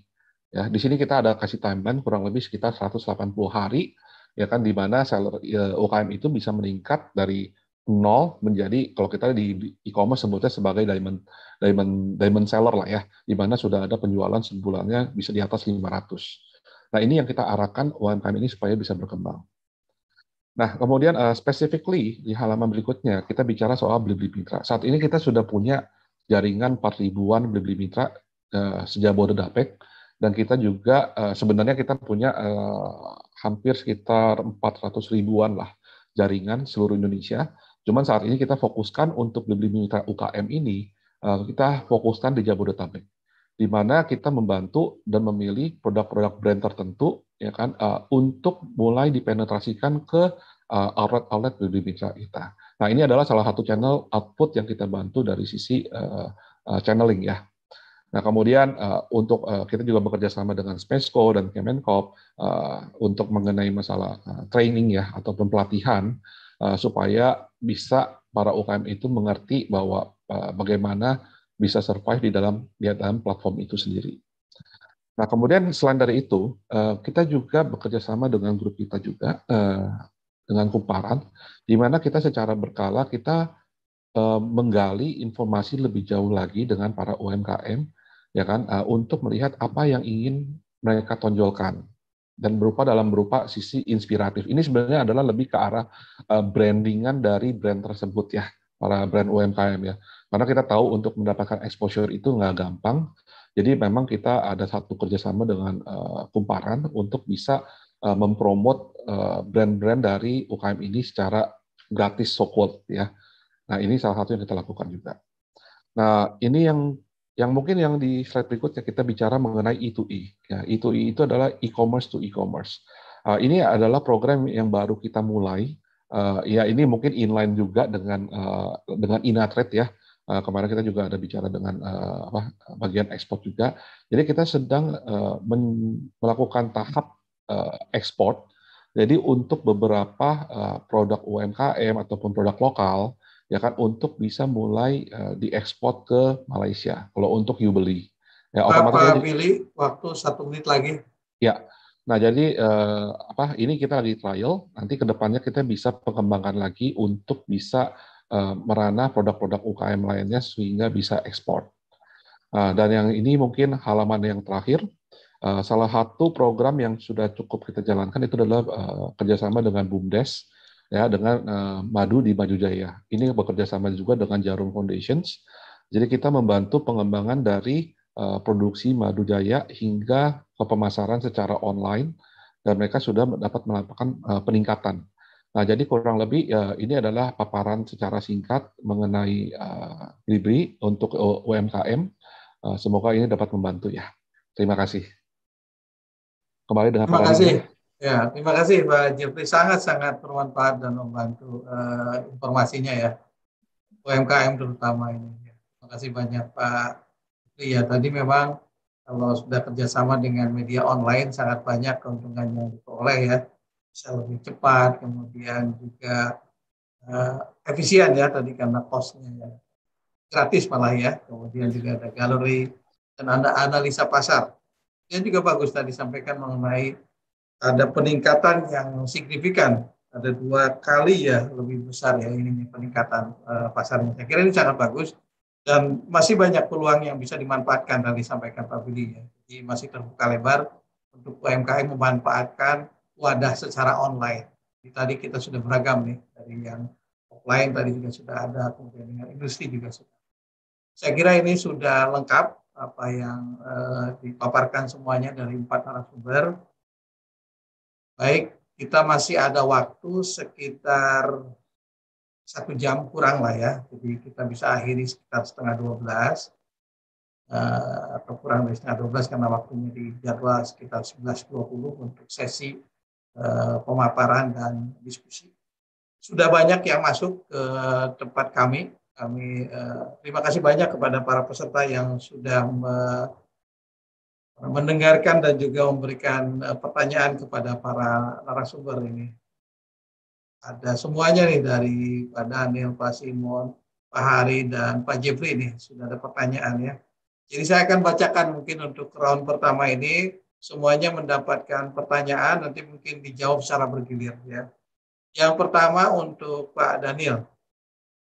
Pak Daniel ini terkait dengan uh, slide nih Nah, selain paparan ya, peran pemerintah dalam mendukung keperantaran pasar. Mohon share insight dari pengalaman Bapak, apa saja yang menjadi isu kunci agar peran ini dapat berkelanjutan. Karena tadi disampaikan Pak Daniel di dalam paparan itu. Kemudian terkait proses identifikasi model usaha untuk membantu, untuk membantu membangun sebuah ekosistem yang baik dan berkelanjutan serta dapat menyambungkan UMKM ke pasar dan pendanaan. Apa yang harus diperhatikan agar model yang terbangun dapat berkelanjutan? Pak, Pak Daniel sudah menantang dengan model-model yang sudah ada. Saya kira ini semakin menantang juga nih bagi peserta untuk eh, mengklarifikasi apa yang sudah disampaikan Pak Daniel. Mungkin nanti di, dicatat dulu Pak Daniel, nanti saya akan lanjutkan ke pertanyaan untuk Pak Simon ya untuk Pak Simon, banyak yang minta kontak untuk kerjasama dengan Bapak. Ini karena Bapak juga tadi saya sampaikan nih Pak Simon, sudah di seluruh Indonesia dan sangat spesifik. Ini jahe merah Pak Simon ini. Jadi kebetulan juga kami dan teman-teman dari Kompak sudah berkunjung ke Trenggalek bagaimana melihat petani jahe di sana. Jadi bagaimana cara bintang 7 memangkas SCM ya dan eh, pemberdayaan komunitas tanpa mengeliminasi dan bahkan merangkul pihak terkait lainnya seperti tengkulak gitu ya. Bagaimana itu mengatasi itu? Karena memang ini kan memotong rantai nilai juga antara petani langsung ke bintang 7. Kemudian bagaimana penentuan daerah mitra bintang 7 tadi sudah tersebar. Saya kira ini sangat penting karena kami juga masih diskusi dengan Pak apa namanya Pak Simon nih. Pak Simon ini kakak kelas saya nih kebetulan. Jadi memang harus membantu adik kelasnya nih Pak Simon. Kita sedang menjajaki kerjasama untuk di Kalimantan Timur ya. Ini juga terkait dengan pertanyaan ini mengenai penentuan daerah. Baik untuk Pak Simon, saya kira itu. Kemudian Pak Hari eh, ada dua hal ya. Jadi yang pertama adalah ini juga ada menanyakan kontak yang bisa dihubungi UMKM terkait dengan akses informasi. Pertanyaannya adalah bagaimana mendapat informasi eksportir produk seperti lidi sawit dan rempah ini sangat spesifik. Ada komoditasnya, karena memang UKM bersangkutan kelihatannya menanyakan. Kemudian bagaimana mencari pendampingan ekspor di daerah Cirebon, ini sudah sangat spesifik lokasinya ini berarti UMKM dari Cirebon ini. Kemudian menanyakan juga mengenai cara aplikasi INA ekspor tadi sampaikan Pak Hari dalam menghubungkan pihak UMKM dengan pihak luar luar negeri ya. Dan apakah ada jaminan pihak aplikasi Ina Export menjamin tidak adanya penipuan dari pihak luar dalam kerjasama UMKM ini mungkin tadi kepastian ya kepastian dari eh, bayarnya kemudian yang terakhir Pak Jifri menurut Bapak marketing kreatif di era digital 6-0 seperti apa. Ya, ini sudah ke 6-0, sekarang masih 4-0 menjelang ke 5-0 ya. Ini sudah ke 6-0, meminta ke depannya seperti apa ini. Mungkin ada analisa atau riset Bapak. Ya. Kemudian bagaimana cara agar skill kreatif marketing digital selalu menarik minat pembeli dan tidak monoton. Ya. Kemudian e-commerce banyak yang mendukung UMKM apa yang membuat beli berbeda. Ya. Jadi saya kira itu sudah lengkap ke empat narasumber dan kami mohon bisa menyampaikannya dalam waktu yang tidak terlalu lama. Baik, yang pertama kami beri kesempatan kepada Pak Daniel. Silakan waktu dan layar untuk Pak Daniel. Ya, baik. Terima kasih banyak Pak Dading. Jadi ada dua pertanyaan ya. Saya recap yang pertama tentang keberlanjutan fungsi keperantaraan dan yang kedua tentang keberlanjutan uh, skema usaha terkait dengan financing. Uh, jadi yang pertama saya akan mencoba menjawab ini sesuai dengan pengalaman saya Pak Dadi. Jadi bagaimana fungsi keperantaraan ini bisa dijalankan oleh pemerintah. Um, ada dua hal yang mau saya sampaikan. Yang pertama adalah bahwa tentu saja secara kerangka regulasi, jadi bagi pemerintah daerah maupun dari rekan-rekan kementerian itu sangat membutuhkan sekali satu apa ya um, kerangka regulasi supaya mereka bisa mengalokasikan anggaran dengan dengan leluasa uh, tanpa ada satu kekhawatiran gitu ya. Ini sering sekali menjadi satu topik yang uh, mencuat di dalam diskusi diskusi dengan pemerintah daerah misalnya. Uh, nah, dalam hal ini tentu saja hari ini saya berbahagia sekali karena ini, justru isu inilah yang sedang dibahas di dalam Bapenas ya Pak, Pak Dading dengan dengan rekan-rekan sekalian uh, sehingga mereka memiliki satu landasan hukum untuk bergerak. Itu yang pertama. Yang kedua adalah bahwa fungsi keperantaraan pasar ini adalah sesuatu pendekatan yang sifatnya spesifik ya. Um, saya dan dan lebih baik bila dilakukan oleh uh, sumber daya manusia yang memang terlatih di dalamnya. Nah, saya memberikan satu contoh, misalnya kalau dari uh, Pemda ataupun dari pemerintah pusat kita ingin membangun sebuah jembatan. Nah, tentu saja yang mendapatkan tugas untuk mendesain, uh, untuk mengetes, lalu melakukan supervisi, menjalankan adalah sesuatu hal yang lumrah apabila dari kementerian maupun dari dinas dari pemerintah kabupaten ini menggunakan tenaga ahli ya yang memang fokus di bidang tersebut. Nah, ini kadang-kadang agak sedikit eh, apa masih agak sedikit rancu di daerah karena rata-rata dari dinas mereka masih menganggap itu adalah tugas mereka dan saya mengatakan memang secara pembuat regulator kebijakan itu adalah tugas mereka tetapi secara operasional eh, itu sebenarnya bukan menjadi sebuah apa ya kalau menurut saya pribadi ya Pak Dading ya eh, dan penanya ini bukan bukan satu ekspertis yang bisa dijalankan begitu saja gitu. Jadi memang membutuhkan satu kualifikasi uh, keahlian yang tertentu gitu. Sehingga di dalam uh, misalnya di dalam diskusi dengan Kompak kami uh, menyarankan, saya pernah menyarankan bahwa lebih baik di untuk satu unit atau satu apa ya satu wadah tertentu terserah apa bentuknya tetapi memang yang diisi oleh tim yang khusus membidangi hal ini dan seperti kita ketahui kalau ini fungsi ini diberikan kepada dinas biasanya kita tergantung kepada rotasi rotasi jabatan kita ber, ada kesulitan dengan kebersinambungan misalnya ada seseorang yang sudah dilatih dari dinas lalu mereka pindah ke tempat lain gitu. jadi Eh, bagi saya dua hal ini yang sangat penting sekali untuk menjalankan fungsi keperantaran pasar di, di, di tingkat daerah. Ya.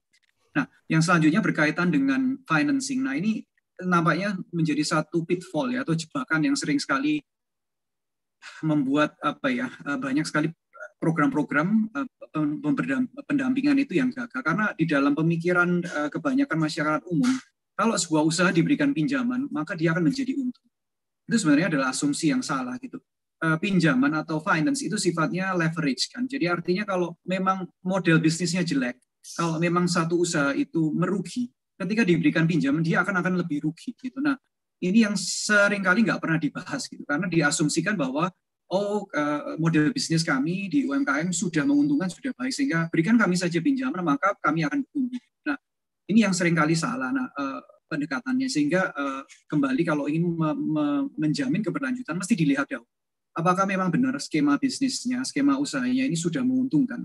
Nah, kalau memang sudah menguntungkan, apakah keuntungan ini cukup untuk dipakai membayar bunga dari pinjaman tersebut? Karena kalau memang terlalu tipis, kurang kurang baik marginnya, uh, performanya kurang stabil, maka kalau di dalam beberapa program uh, kami menganjurkan lebih baik kalau gitu menabung daripada mencari pinjaman.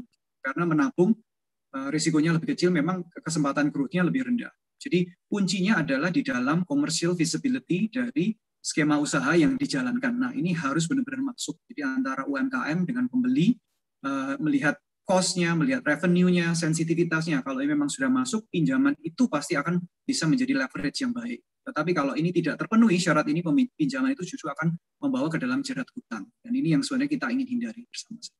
Demikian Pak Dading, terima kasih. Terima kasih Pak Daniel ya. Ini sangat jelas Pak Daniel mengatakan tadi eh, peran ya, peran kunci ya termasuk juga pendanaan. Saya kira saya setuju juga nih terkait dengan memperkuat model bisnisnya. Tadi juga sejalan saya kira dengan yang disampaikan Pak Simon ya. memang harus memperkuat model bisnisnya dulu baru ini eh, pendanaan ini sebagai leverage untuk eh, memperlancar bisnisnya. Saya kira terima kasih banyak Pak Daniel atas jawabannya.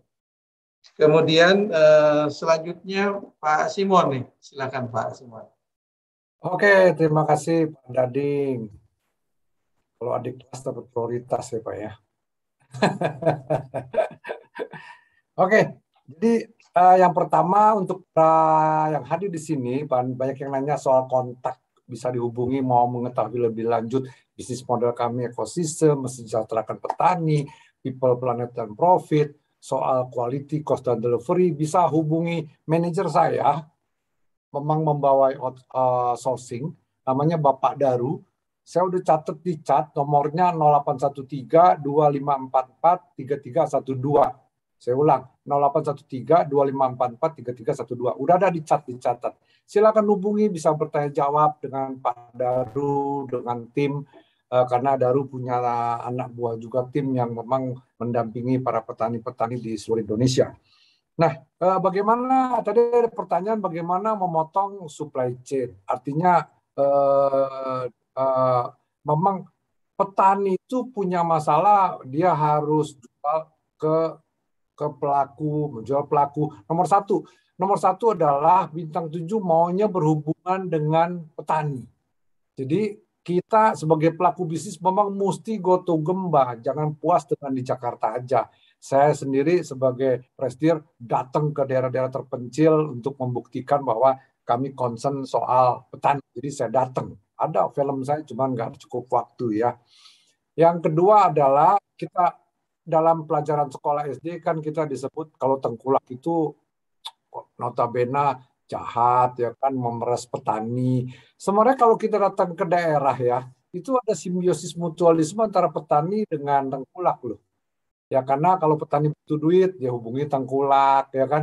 Kalau dia uh, butuh apa-apa pinjam dari tengkulak karena itulah concern dari Pak Jokowi bahwa petani itu tidak bankable. Betul kan? Nah, kalau kita lihat kan sebenarnya di Indonesia itu ada BRI yang katanya sampai ke daerah-daerah. Saya pernah datang ke empat jam dari Bandung, satu daerah yang terpencil banget, listriknya baru masuk setahun. Saya undang juga tuh orang BRI untuk datang ke sana. Ya, bagaimana eh, petani dapat sertifikat tanah bisa bankable. Nah, tapi bagi kami adalah kalau menunggu itu terjadi telat. Kalau kami menunggu BRI telat, kalau menunggu sertifikat telat. Jadi kami hubungan langsung sama petani, hubungan langsung sama tengkulak, kami jadikan petani di ini bisa nanam secara hingga bisa memenuhi quality quality cost dan delivery. Nah, tengkulaknya kami jadikan sebagai koordinator. Malah tengkulaknya kami jadikan sebagai pe, pe, pe, pelaku bisnis yang namanya post harvest. Kami dampingi para tengkulak sehingga dia bukan cari untung dari menekan petani, tapi dia dapat untung dari edit value. Jadi petani jual uh, uh, hasil panen basahnya diterima oleh tengkulak, tengkulak memproses, mengeringkan, memotong, menslicing. Nah itu yang kami beli sehingga dia dapat untung. Nah ini yang namanya sharing ekonomi, win-win. Petani untung tidak rugi karena udah ada harga yang sudah ditetapkan dari awal oleh kami jadi kami deal sama petani harganya berapa kalau memenuhi quality delivery dan uh, cost-nya. Pasti. Jadi petani bisa hitung balik tuh. Bibit berapa, biaya tanam berapa, sehingga tahu keuntungannya. Ya, kalau nanti bisa tanya sama Pak Daru, hitung-hitungan kami mestinya dia bisa untung hampir 30% gross margin. Ya, para tengkulak juga menjadi pendamping dan menjadi uh, teman kami sehingga dia bisa uh, dapat untung juga. Nah ini namanya memotong SCM. Kami berhubungan dengan semua titik. Uh, terus ada pertanyaan juga, apakah petani itu kalau nggak memenuhi syarat kualitinya bagaimana? Nah, kami sudah punya konsep kerjasama, artinya gini, nggak semua petani bisa nanam jahe merah. Nggak semua daerah cocok untuk jahe merah. Pak Dading kan bilang, Pak Kalimantan bagaimana? Ya pasti kami kirim orang ke Kalimantan apakah demografi, geografinya cocok untuk jahe merah? Kita sebagai pertanian kan sadar kan bahwa tidak semua daerah cocok untuk satu jenis tanaman. Tapi dengan teknologi sekarang sebenarnya bisa dimungkinkan dengan apa? Pakai uh, uh, plastik bag, betul kan? Ya, dengan pupuk, dengan apa ya mungkin margin mengecil ya, tapi ya itu yang mesti diselidiki mesti diketahui. Sehingga ada pertanyaan kan, kenapa pemilihan sebarannya kok di daerah-daerah seperti itu? Karena itu kecocokan geografi, kecocokan jenis tanah, kecocokan sumber ala, daya alam, kecocokan dengan irigasinya, dan kecocokan dengan para petani. Karena petani Indonesia itu kalau nanam itu mereka turun temurun. Kalau memang udah cocok dengan satu komoditi, dia tanam itu terus, tidak pernah berubah. Bu, karena keahliannya dan karena jenis tanah dan jenis alam dan jenis ketinggian. Uh, uh, di, uh, itu uh, jawaban dari saya uh, soal uh, daerah, soal memotong supply chain, bagaimana win-win, bagaimana sharing ekonomi supaya everybody happy. Tapi juga ini ada uh, uh, soal konsep. Jadi kami bukan dengan petani. Kami minta petani itu tanam misalkan seribu pohon dulu tahun pertama. Itu kami sebut bahwa petani silver. Supaya kalau gagal tidak besar, kalau gagal tidak rugi banget. Tahun kedua eh, kami angkat dia menjadi gold, tahun ketiga jadi platinum. Nah, ini tahapan-tahapan supaya petani bisa belajar eh, bahwa resi, eh, kita memberitahu risiko ada. Kenapa salah satu poin yang paling penting adalah jahe merah itu ditanam 9 sampai 10 bulan. Kalau para petani kan cash flow-nya kecil, mau tanamnya tiga bulan panen, tiga bulan panen. Nah, inilah yang bahan pemikiran kami bagaimana ada sistem tumpang sari, ada sistem income yang lain. Makanya sekarang kami ada yang nanya komoditinya apalagi kami lagi kembangkan komoditi yang lebih singkat yaitu minyak serewangi, daun serewangi dan juga madu. Nanti komoditi di komoditi yang lainnya sehingga petani bisa lebih diuntungkan. Demikian Pak Dading jawaban-jawaban saya menyeluruh eh, dan juga melihat ada beberapa pertanyaan di Q&A dan di chat. Baik, Pak Simon sangat jelas dan detail. Pak Simon juga ada contoh-contoh saya kira sangat-sangat dipahami oleh UMKM. Dan bagus sekali tadi pendekatan dengan tengkulak ya, Pak ya, dirangkul ya Pak ya, tidak disuruh tetapi dirangkul bagian dari rantai nilai. Saya terima kasih banyak Simon pembelajaran atau pembelajarannya sangat baik. Dan saya yakin kalau ke depan tadi lokasi-lokasi karena memang memperhatikan itu ya ekosistem dan petani yang saya sangat sepakat dengan itu dan juga saya yakin juga tadi inovasi yang dilakukan eh, bintang tujuh di samping tadi eh, dengan teknologi lokasi juga bisa dengan menghasilkan produk-produk yang lainnya ya kemungkinan komunitas-komunitas lainnya yang bisa dikembangkan. Terima kasih banyak Pak Simon atas penjelasannya yang uh, luar biasa komprehensif. Baik, kami lanjutkan uh, ke Pak Hari ini ya. Tadi ada beberapa pertanyaan. Silakan Pak Hari. Baik Pak, uh, yang pertama tadi saya catat terkait dengan permintaan kontak atau ke mana menghubungi jika ada ingin mengetahui tentang informasi uh, peluang pasar itu bisa uh, diadres ke csc at kemendak.go.id itu yang apa bisa uh, direspon langsung oleh oleh kami di tim kami nanti di di CSC itu customer service uh, di apa di Direktorat Pengembangan Pasar dan Informasi Ekspor di tempat kami. Dan selain itu juga bisa uh, melalui uh, inaexport.id ini tentunya ini aplikasi harus login memang harus login. Kenapa harus login?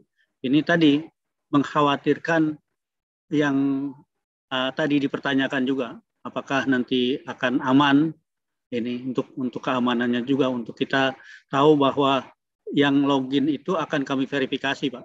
Jadi baik eksportir maupun bayarnya di di luar negeri yang yang sudah sudah ini juga supaya tidak terjadi hal-hal yang uh, apa uh, malpraktek perdagangan lah ada gagal gagal transaksi atau apa nah itu juga kita kita verifikasi untuk masing-masing uh, masing-masing buyer dan masing-masing uh, eksportir yang yang mendaftar di sini sehingga dengan metode tersebut apa namanya potensi hal yang negatif tidak terdapat terjadi. Itu kemudian terkait dengan pendampingan tadi yang dari spesifik di daerah Cirebon, memang kalau kita tidak apa melakukan uh, secara uh, daerah uh, lokasi tertentu, tapi Eh, kegiatan kami itu juga uh, menyebar ke daerah. Katanya pendampingan yang kami berikan terutama di, di Genpen itu adalah uh, mengenai desain apa uh, desain kemudian uh, packaging packaging lalu ada juga kami melakukan klinik uh, bisnis di situ. Dan uh, ini tujuannya uh, terutama untuk uh, tujuan ekspor. Jadi uh, nanti juga itu akan kami kurasi.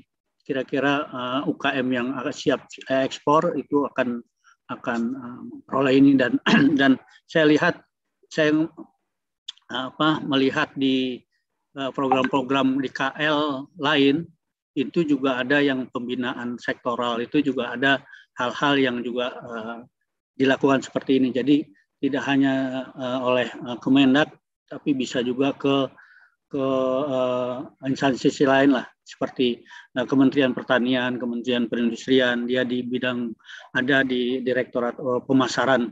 Uh, pemasarannya itu ada ada juga yang menangani hal ini. Jadi mungkin karena kalau satu kementerian itu kan ada keterbatasan dan mungkin ini perlu juga uh, ke depan akan kami koordinasikan ini dengan dengan apa namanya dengan KL-KL lain sehingga tidak tidak tumpang tinggi lah, misalnya baik sektornya, baik uh, wilayah daerahnya dan untuk pengembangannya.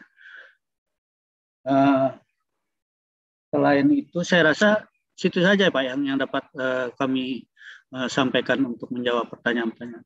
Di Q&A juga sudah kami coba jawab itu untuk pertanyaan-pertanyaan uh, private ke yang bersangkutan. Terima kasih Pak. Baik, terima kasih banyak Pak Hari. Memang ya betul mengenai informasi dan uh, bagaimana ini uh, prosesnya ya tadi sudah disampaikan oleh Pak Hari. Baik, terima kasih banyak Pak Hari uh, atas penjelasannya. Saya lanjutkan untuk Pak Jifri ya. Silakan Pak Jifri. Yuk Pak Dading. Terima kasih. Um, ya ini tadi mungkin ada beberapa pertanyaan ya mengenai uh, satu mungkin saya jawab dulu yang mengenai perbedaan uh, e-commerce kan banyak yang masuk ke UKM mendorong UKM. Apa sih yang sudah dilakukan oleh Blibli uh, untuk membedakannya? Nah sebenarnya di Blibli sendiri kita ada banyak tadi yang setelah yang sudah dipaparkan. Uh, ada lagi banyak beberapa yang kita lakukan uh, di tahun-tahun sebelumnya sebenarnya kita melakukan yang namanya uh, program kayak kreatif uh, competition ya kita sebutnya ya dari sisi UMKM uh, kita sebutnya beli Big Start Indonesia. Cuman sayangnya uh, di season yang kelima itu kita nggak bisa lanjutkan karena terkena pandemi. Ya semoga nanti di waktu berikutnya setelah pandemi ini selesai kita bisa aktifkan lagi. Nah, uh, di sana kita bertujuan untuk mendorong para UMKM itu dan kita memberikan uh, apa namanya pendanaan uh, bagi pemenangnya itu hingga satu setengah miliar waktu itu uh, supaya mereka dapat terus berkembang dan otomatis mereka dapat masuk di sistem platformnya e-commerce itu di Bibi sehingga bisa lebih berkembang lagi.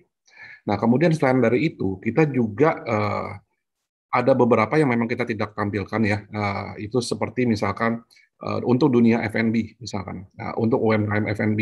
UM, uh, F&B itu banyak sekali UMKM itu uh, kalau kita bicara tadi ada pertanyaan mengenai marketing uh, 6.0 ya.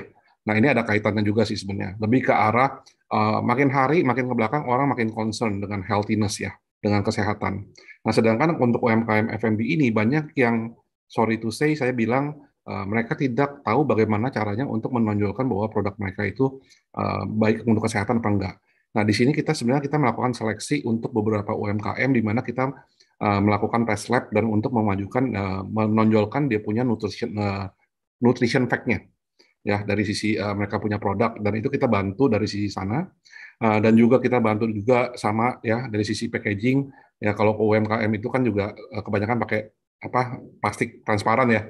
Nah, itu kita bantu desain, kita bantu uh, untuk revamping, dan juga kita bantu untuk engagement secara offline dan online-nya itu uh, melalui uh, produk mereka. Ya, masih banyak lagi sih sebenarnya yang kita lakukan, uh, termasuk juga kalau kita bicara uh, promotion, ya kan, uh, dan juga kita bicara uh, uh, tadi juga ya akses untuk channeling. Uh, mungkin ini salah satu channeling terhadap beli Mitra itu merupakan salah satu yang cukup menarik untuk UMKM, tapi tidak semua UMKM itu dapat kita ikut sertakan karena kita memerlukan uh, apa namanya uh, historical ya historical data dari uh, produk tersebut apakah uh, bisa dijual di uh, area tertentu atau uh, dengan mitra-mitra tertentu. Nah itu kurang lebih uh, sebagian dari apa yang kita lakukan untuk UMKM. Nah kemudian kalau kita bicara marketing 6.0 yang terkait dengan sustainability. Nah kita bicara uh, memang ya dari tahun ke tahun kemarin baru marketing 4.0 sekarang udah langsung jam 5.0 and 6.0 ya sangat cepat sekali. Uh, nah di sini kalau kita dari e-commerce kita melihatnya seperti ini. Sustainability kita bicarakan dari semua baik dari sisi uh, stakeholdernya dari produsen, dari consumer, dari penengahnya, mediatornya dan yang lain-lain ya. Nah tapi kalau kita bicara dari sisi beli kita mendorong uh, terhadap uh, sustainability-nya itu dari sisi uh, operational efficiency ya kan? Dan kita juga bicara dari sisi uh, kita tahu ya, ya yang salah satu kita lihat itu adalah dengan banyaknya orang belanja online ya. Ini saya juga udah dengar banyak sekali komplain dari teman-teman wah jadi uh, sampah pak sampah kardus sampah plastik itu makin banyak ya nah di mana dari Bibi itu kita juga melakukan program yang uh, uh, program cinta bumi ya dari Bibi di mana produk-produk packaging tersebut kardusnya itu juga bisa kita tarik balik ya instead of, of ya, dihancurkan jadi sampah, nah itu kita akan recycle, kita bawa uh, daur ulang dengan cara pada saat kita kirim, dusnya itu boleh dibalikan. Nah itu salah satu program yang kita uh, apa uh, berikan uh, dari sisi sustainability kepada teman-teman. Tapi ya memang kalau di e-commerce itu kan kita bicara teknologi. Jadi kalau kita bicara teknologi, kita lebih bicara uh, efisiensi dari sisi operations secara overall, ya kan. Nah itu yang terpenting. Nah kemudian kalau dari sisi uh, apa namanya uh, ada satu pertanyaan mengenai marketing 6.0 terkait dengan creativity. Nah, ini ini lumayan cukup interesting ya. Nah, kalau kita bicara soal marketing itu mungkin skopnya sangat besar sekali. Nah, cuman mau apa pun itu, mau apa pun itu, kalau kita bicara marketing, kita selalu bicara mengenai tren. Ya, kita mengenai tren apa sih yang consumer itu pengen lihat, pengen tahu, dan bagaimana yang bisa menyentuh. ya kalau kita bicara di negara tetangga ya kan itu selalu uh, kreativitinya kita bicaranya lebih ke arah mellow misalkan yang lebih apa uh, sedih-sedih misalkan atau uh, kalau zaman sekarang kan kalau kita bicara milenial di Indonesia ya kan uh, itu apakah sifatnya itu lebih uh, faktanya atau lebih ke uh, apa sih sebutnya ya kita bicara mungkin lebih ke arah borjunya ya mungkin ya.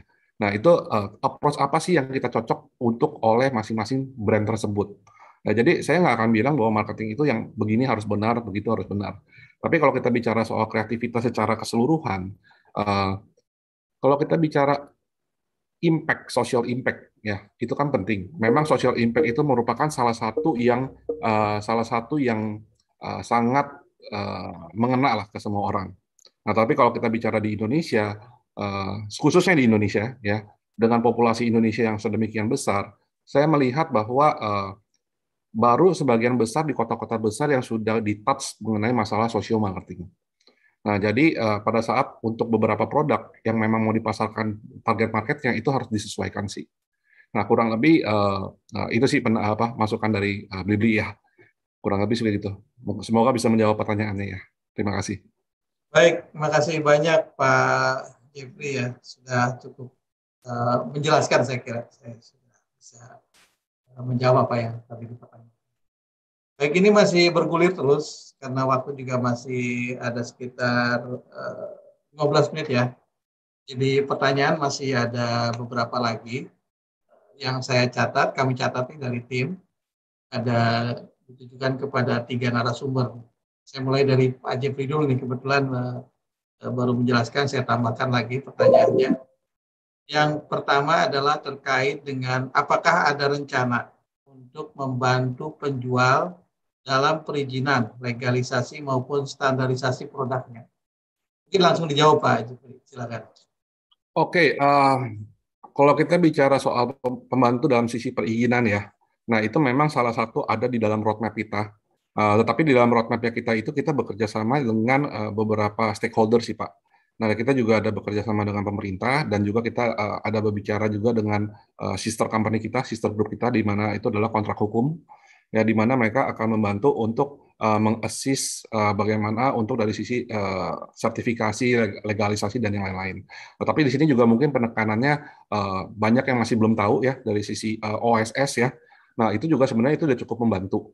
Nah, cuman dari sisi uh, informasi OS ini tuh yang masih belum sampai ke level bawah.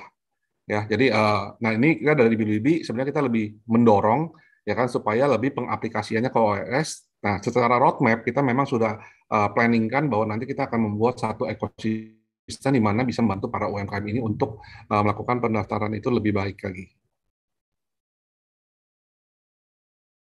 Ya baik Pak Jifri ya. Terima kasih atas informasinya ya. Dari pemerintah juga memang kita akan memperbaiki mengenai OSS ini dan sudah ada di Omnibus Law. Malah di, akan diintegrasikan perizinan untuk standarisasi dan halal. Sekalian kalau memperoleh NIB untuk yang uh, berisiko rendah itu akan sekaligus diberikan ini sedang dirumuskan terutama yang standarisasi dan halal ya karena syaratnya harus tidak keluar biaya nih UMKM ini ya, terima kasih Pak Jifri. Baik, untuk Pak Simon ada lagi Pak Simon. Jadi yang uh, pertanyaannya adalah bagi Pak Simon masih ada ya. Baik, bagaimana pengembangan UMKM dalam memenuhi kebutuhan pasar yang dinamis agar dibutuhkan sesuai skala produksinya pada kelompok petani yang masih belum memiliki memenuhi standar dari optaker ya. Jadi apa yang uh, dilakukan? ada. Tadi sih sudah ada pendampingan. Mungkin silakan kalau ada lagi dijelaskan. Tadi, Pak. tadi sudah dijawab, Mak. Memang uh, dengan model bisnis seperti ini, memang banyak petani yang tertarik, Pak.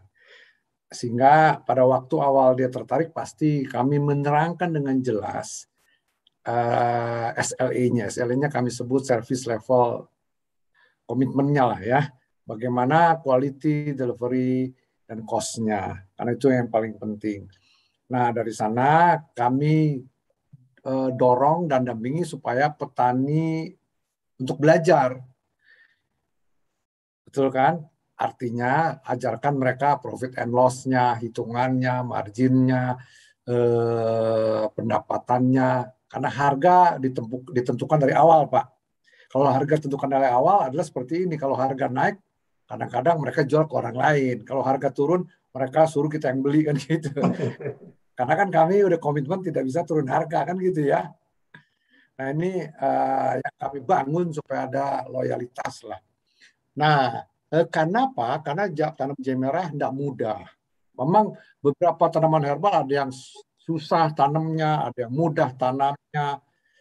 Uh, baru-baru ini kan kita baca juga minyak nilam, harga lagi naik di pasaran dunia. Nah, itu nilam juga tanamnya nggak mudah tuh, ya sulit.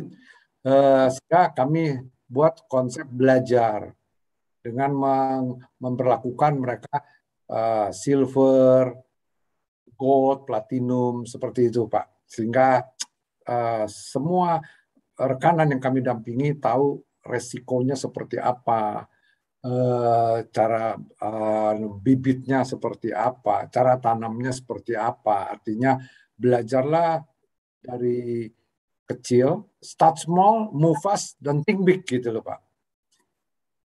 Jadi itu jawabannya. Baik, jadi memang dimulai dari sesuatu yang kecil dulu ya secara bertahap. Kira kalau langsung pada sesuatu yang sulit eh, jadi repot begitu, kompleks begitu ya. Terima kasih Pak. Biasanya kalau ada orang yang tertarik, wah saya punya tanah Pak 5 hektar, saya mau tanamin semua ya. Kami menolak lah. Coba belajar dulu seribu bibit tahun pertama, nanti kalau udah berhasil satu hektar, barulah tahun ketiga lima hektar gitu. Baik, baik. Terima kasih banyak ini pesan-pesannya untuk para UMKM yang tertarik untuk kerjasama dengan Pak Simon lah ya. Apalagi yang ya, sudah terbiasa menanam jahe merah. Ini bang. Nah, itu lebih mudah lagi Pak. Biasa kami survei kalau udah terbiasa jahe merah, berani itu, ayo silakan gitu kan, tanam yang ya. banyak. Gitu ya. Ya, ya. Baik. Baik, terima kasih Pak Simon ya pesan-pesan dan penjelasannya. Uh, satu lagi untuk Pak Hari nih, Pak Hari uh, ada beberapa pertanyaan. Ini mohon maaf nih Pak Hari ada keluhan ternyata nih dari UMKM nih. Ternyata uh, web Ina Export ini katanya masih sangat sulit untuk dimengerti uh, karena sebagian berbahasa Inggris gitu ya. ini mohon uh, penjelasannya pada tahapan untuk juga uh, informasi ini. Kemudian eh, apa saja tahapan yang harus dilakukan oleh UMKM agar bisa melakukan ekspor. Mungkin tadi eh, sudah dimulai dengan mungkin pengembangan SDM, mungkin ada lagi langkah-langkah yang lebih cepat atau apa. Atau ada juga ini menanyakan mengenai apakah ada inkubasi untuk ekspor, Pak. Eh, yang tentunya kan rute yang masih awam ekspor, saya kira sangat baik dimulai dengan eh, inkubasi secara terstruktural barangkali. Silakan Pak Hari. Terima kasih. Ya.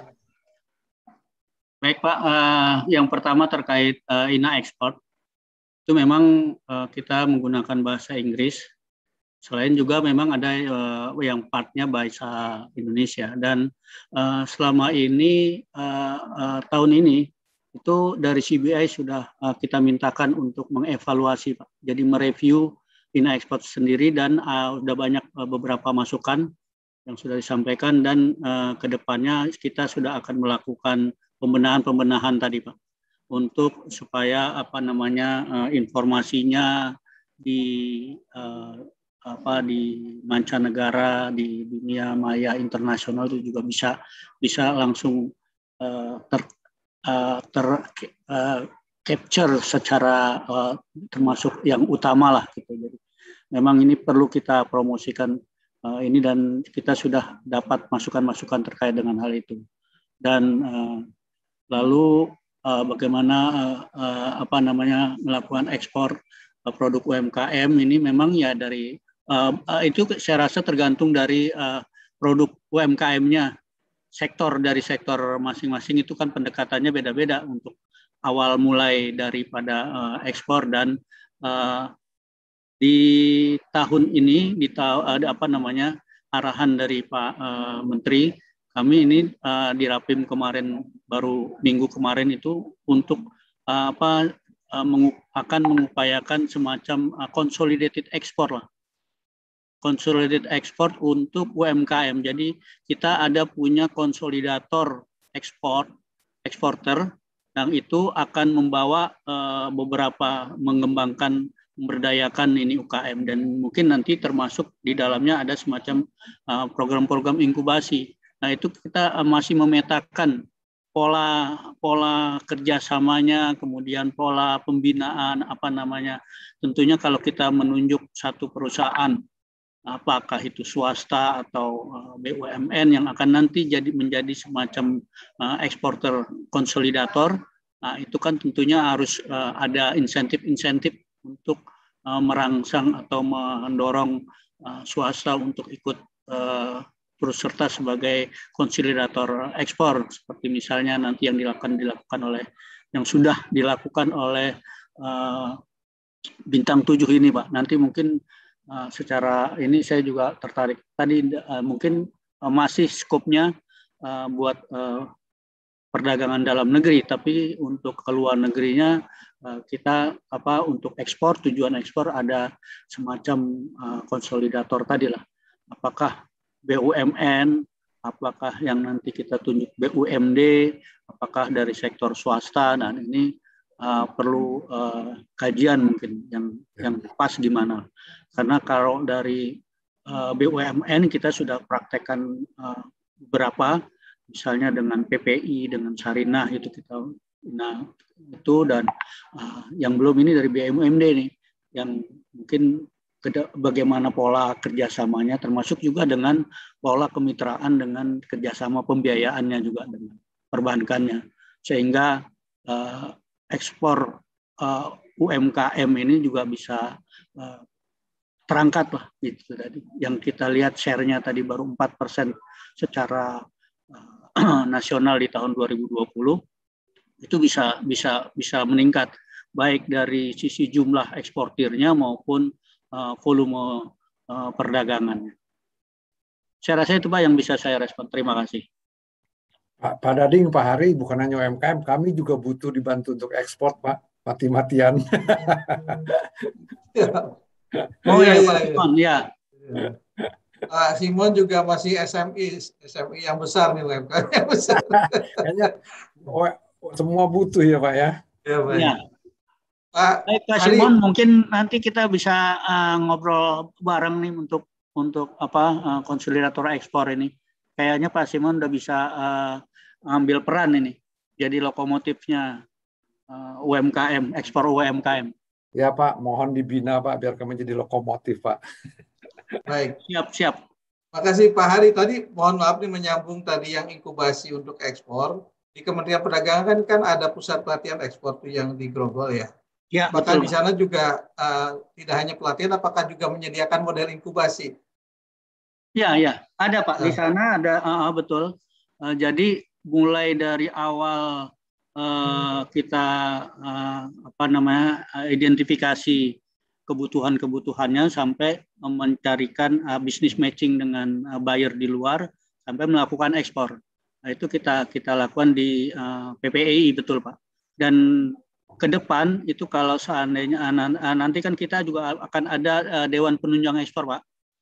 Itu sedang digodok uh, perpresnya uh, sudah di sekretariat kabinet lah konsepnya dan nanti yang berperan itu um, apa uh, uh, itunya adalah uh, PPI yang menangani secara secara langsung di di, di Jenpen itu. Nanti PPI yang akan menangani. Itu nanti semua permasalahan apa namanya uh, terkait dengan UMKM dari uh, kapasitas produksi bahan baku kemudian hal-hal lain dan sampai ke pembiayaan dan uh, apa namanya proses bisnisnya uh, itu juga akan ditangani oleh oleh uh, DPN.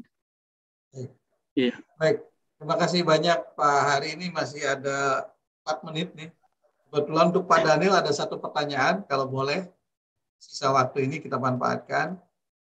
Apakah ada benchmarking di tempat atau negara lain? Bagaimana peran keperantaran ini dapat didukung pemerintah ya? Mungkin kalau ada di negara lain atau di tempat yang bagus sebagai best practice.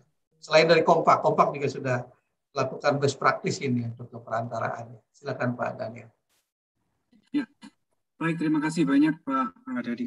Jadi um, kalau kita melihat benchmark, benchmark ini memang agak sulit ya karena kita ingin membandingkan diri kita dengan siapa gitu kan. Kalau kalau kita mau berbicara best practices, uh, ideal cases, tentu saja uh, negara-negara Eropa misalnya mereka sangat uh, concern sekali dengan SME gitu bahkan termasuk Amerika mereka memiliki regulasi khusus ada bisnis-bisnis jasa produk tertentu yang hanya boleh di, uh, boleh diisi oleh uh, apa, UMKM gitu Pak ya.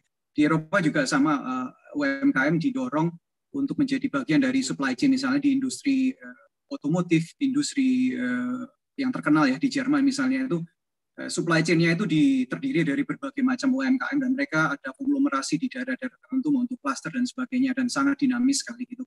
Tapi kan itu benchmark yang mungkin tidak cocok ya untuk Indonesia karena kita berada di dalam satu sistem yang uh, mungkin secara level kita bisa berbeda. Nah, kalau kita membandingkan dengan negara-negara berkembang lainnya misalnya uh, di di ASEAN lah misalnya gitu ya. Kalau saya lebih mengenal terutama di bagian uh, agriculture gitu pertanian.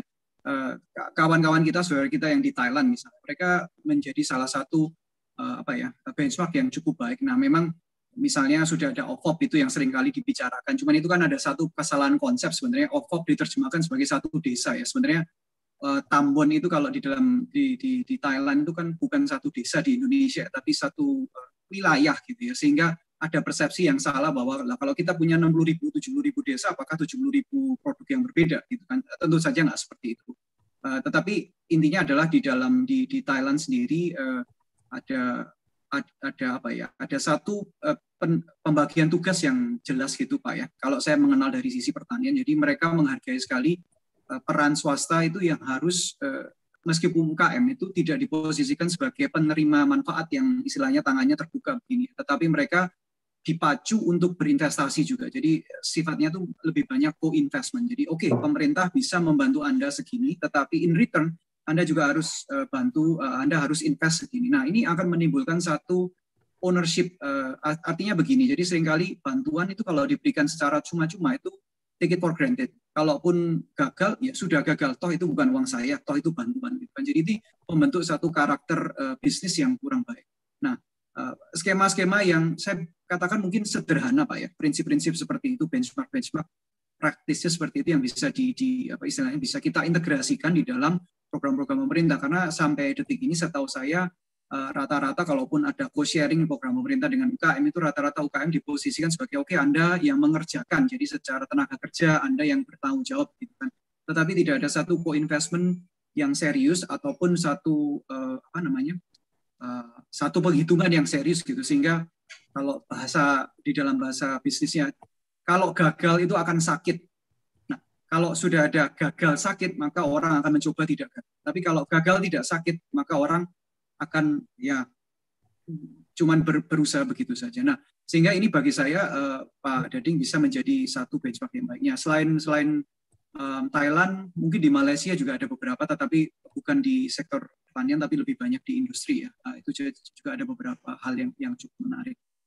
Jadi itu Pak, terima kasih. Baik, saya kira uh, terima kasih banyak uh, Pak Daniel sudah bisa menyampaikan perihal ini dan saya kira ini sudah akhir acara untuk pemaparan dan diskusi. Sebelum saya akhiri, saya mohon ada closing ya, dari para narasumber ini, tapi ada pertanyaan dari saya. Setengah menit mungkin jawabannya disampaikan pada saat closing.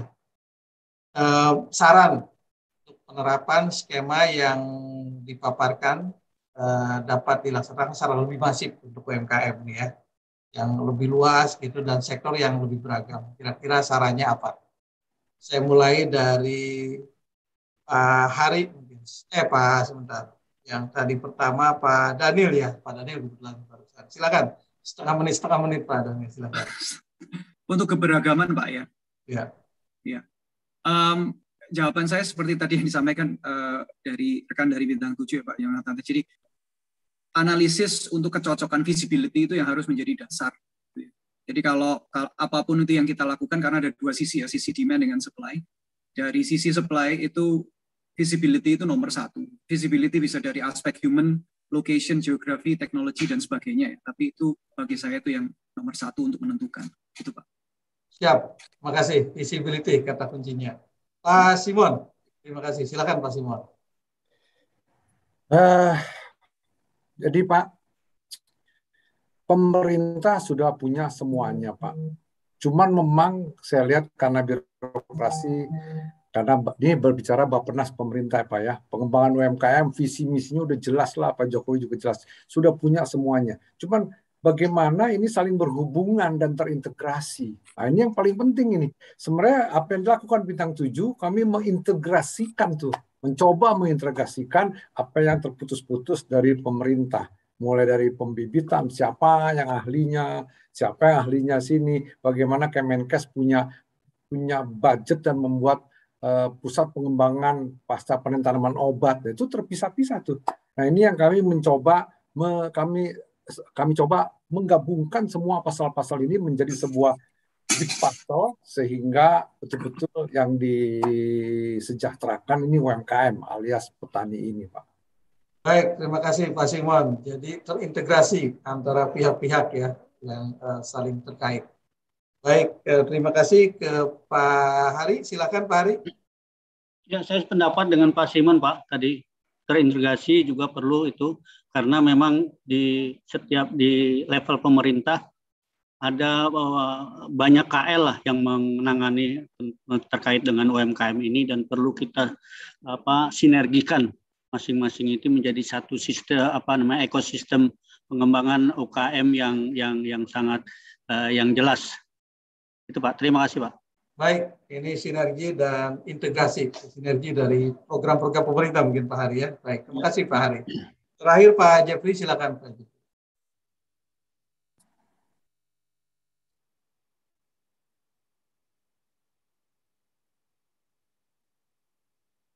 Ya, sorry uh, ada sedikit teknis. Ya, pada prinsipnya sih mungkin secara uh, besaran umumnya kita harapkan semua para UMKM itu dapat benar-benar uh, ambil kesempatan ini ya. Uh, ini mungkin last but not least, um, digital e-commerce itu saat ini mulai baru mulai picking up. Ya sebenarnya kalau kita ngelihat kan balik lagi kan tahun 2008 2009 ya. Tapi baru benar-benar terjadi percepatan ini semenjak dua tahun terakhir. Nah, kalau kita melihat uh, kesempatan Indonesia sampai bisa masuk tahap uh, mature e-commerce-nya itu, itu membutuhkan waktu mungkin sekitar tahun 2025 ya kan sampai 2026. Nah ini saya harapkan eh, teman-teman semua uh, dan juga para stakeholder bisa benar-benar memfokuskan uh, apa uh, energinya dan juga mempelajari bagaimana untuk memasarkan produknya secara uh, online.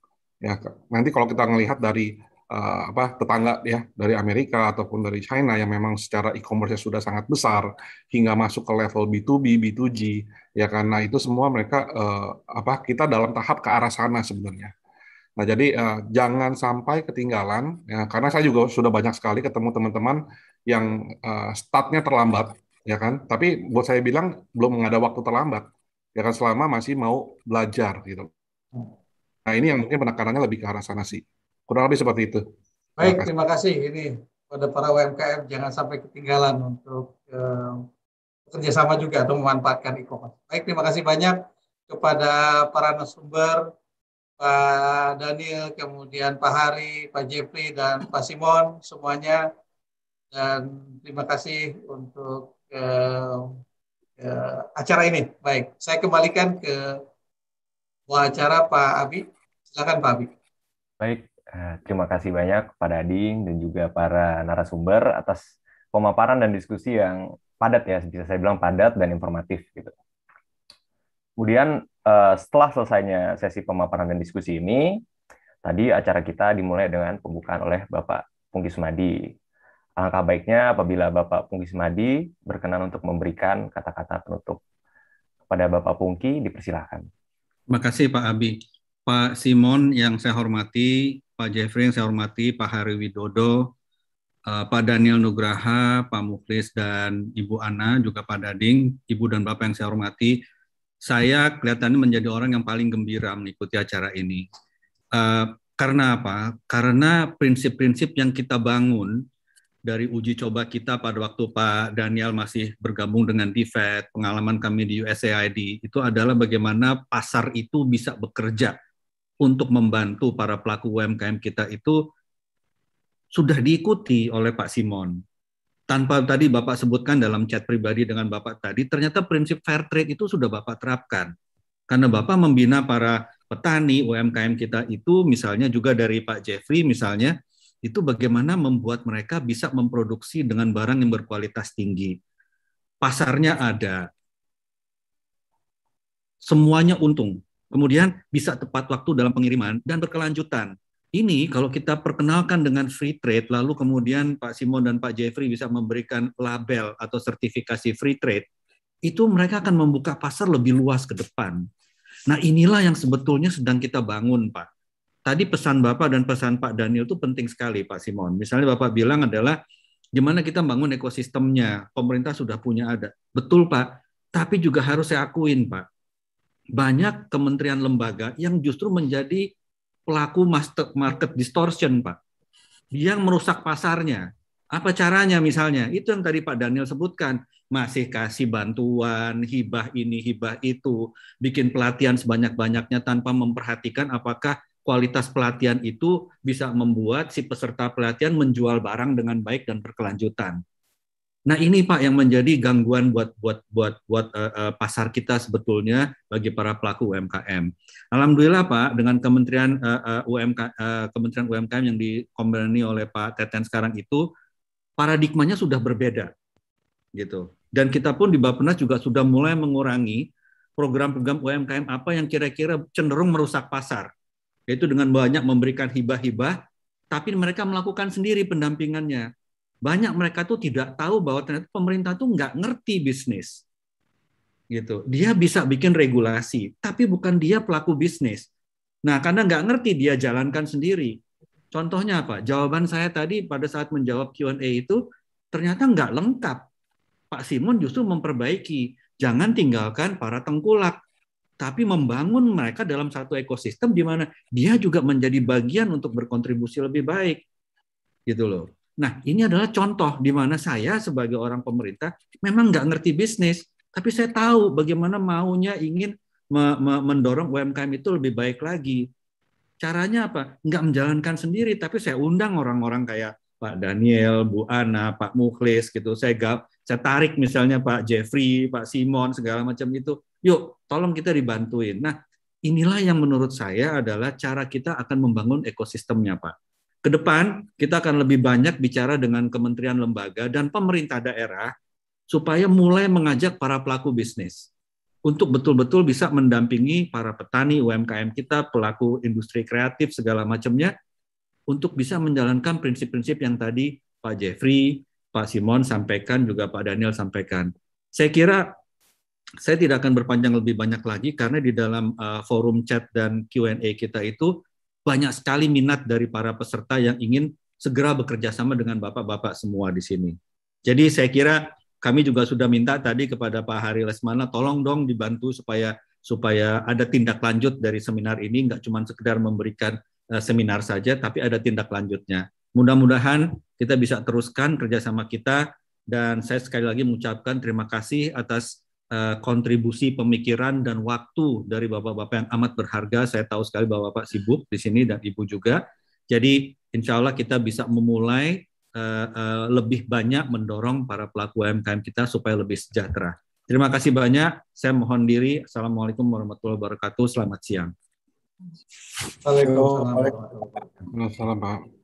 Ya, baik. Terima kasih atas kalimat penutup ya Bapak Pungki.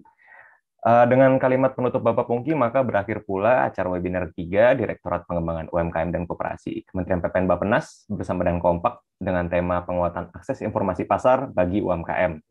Semoga diskusi dan pembahasan yang sudah kita simak dapat bermanfaat bagi pengembangan UMKM di Indonesia. Diinginkan juga kepada para peserta webinar untuk dapat mengisi uh, absensi serta survei yang telah disampaikan di kolom chat dan juga bahan paparan serta sertifikat akan diberikan dalam link yang ada di survei.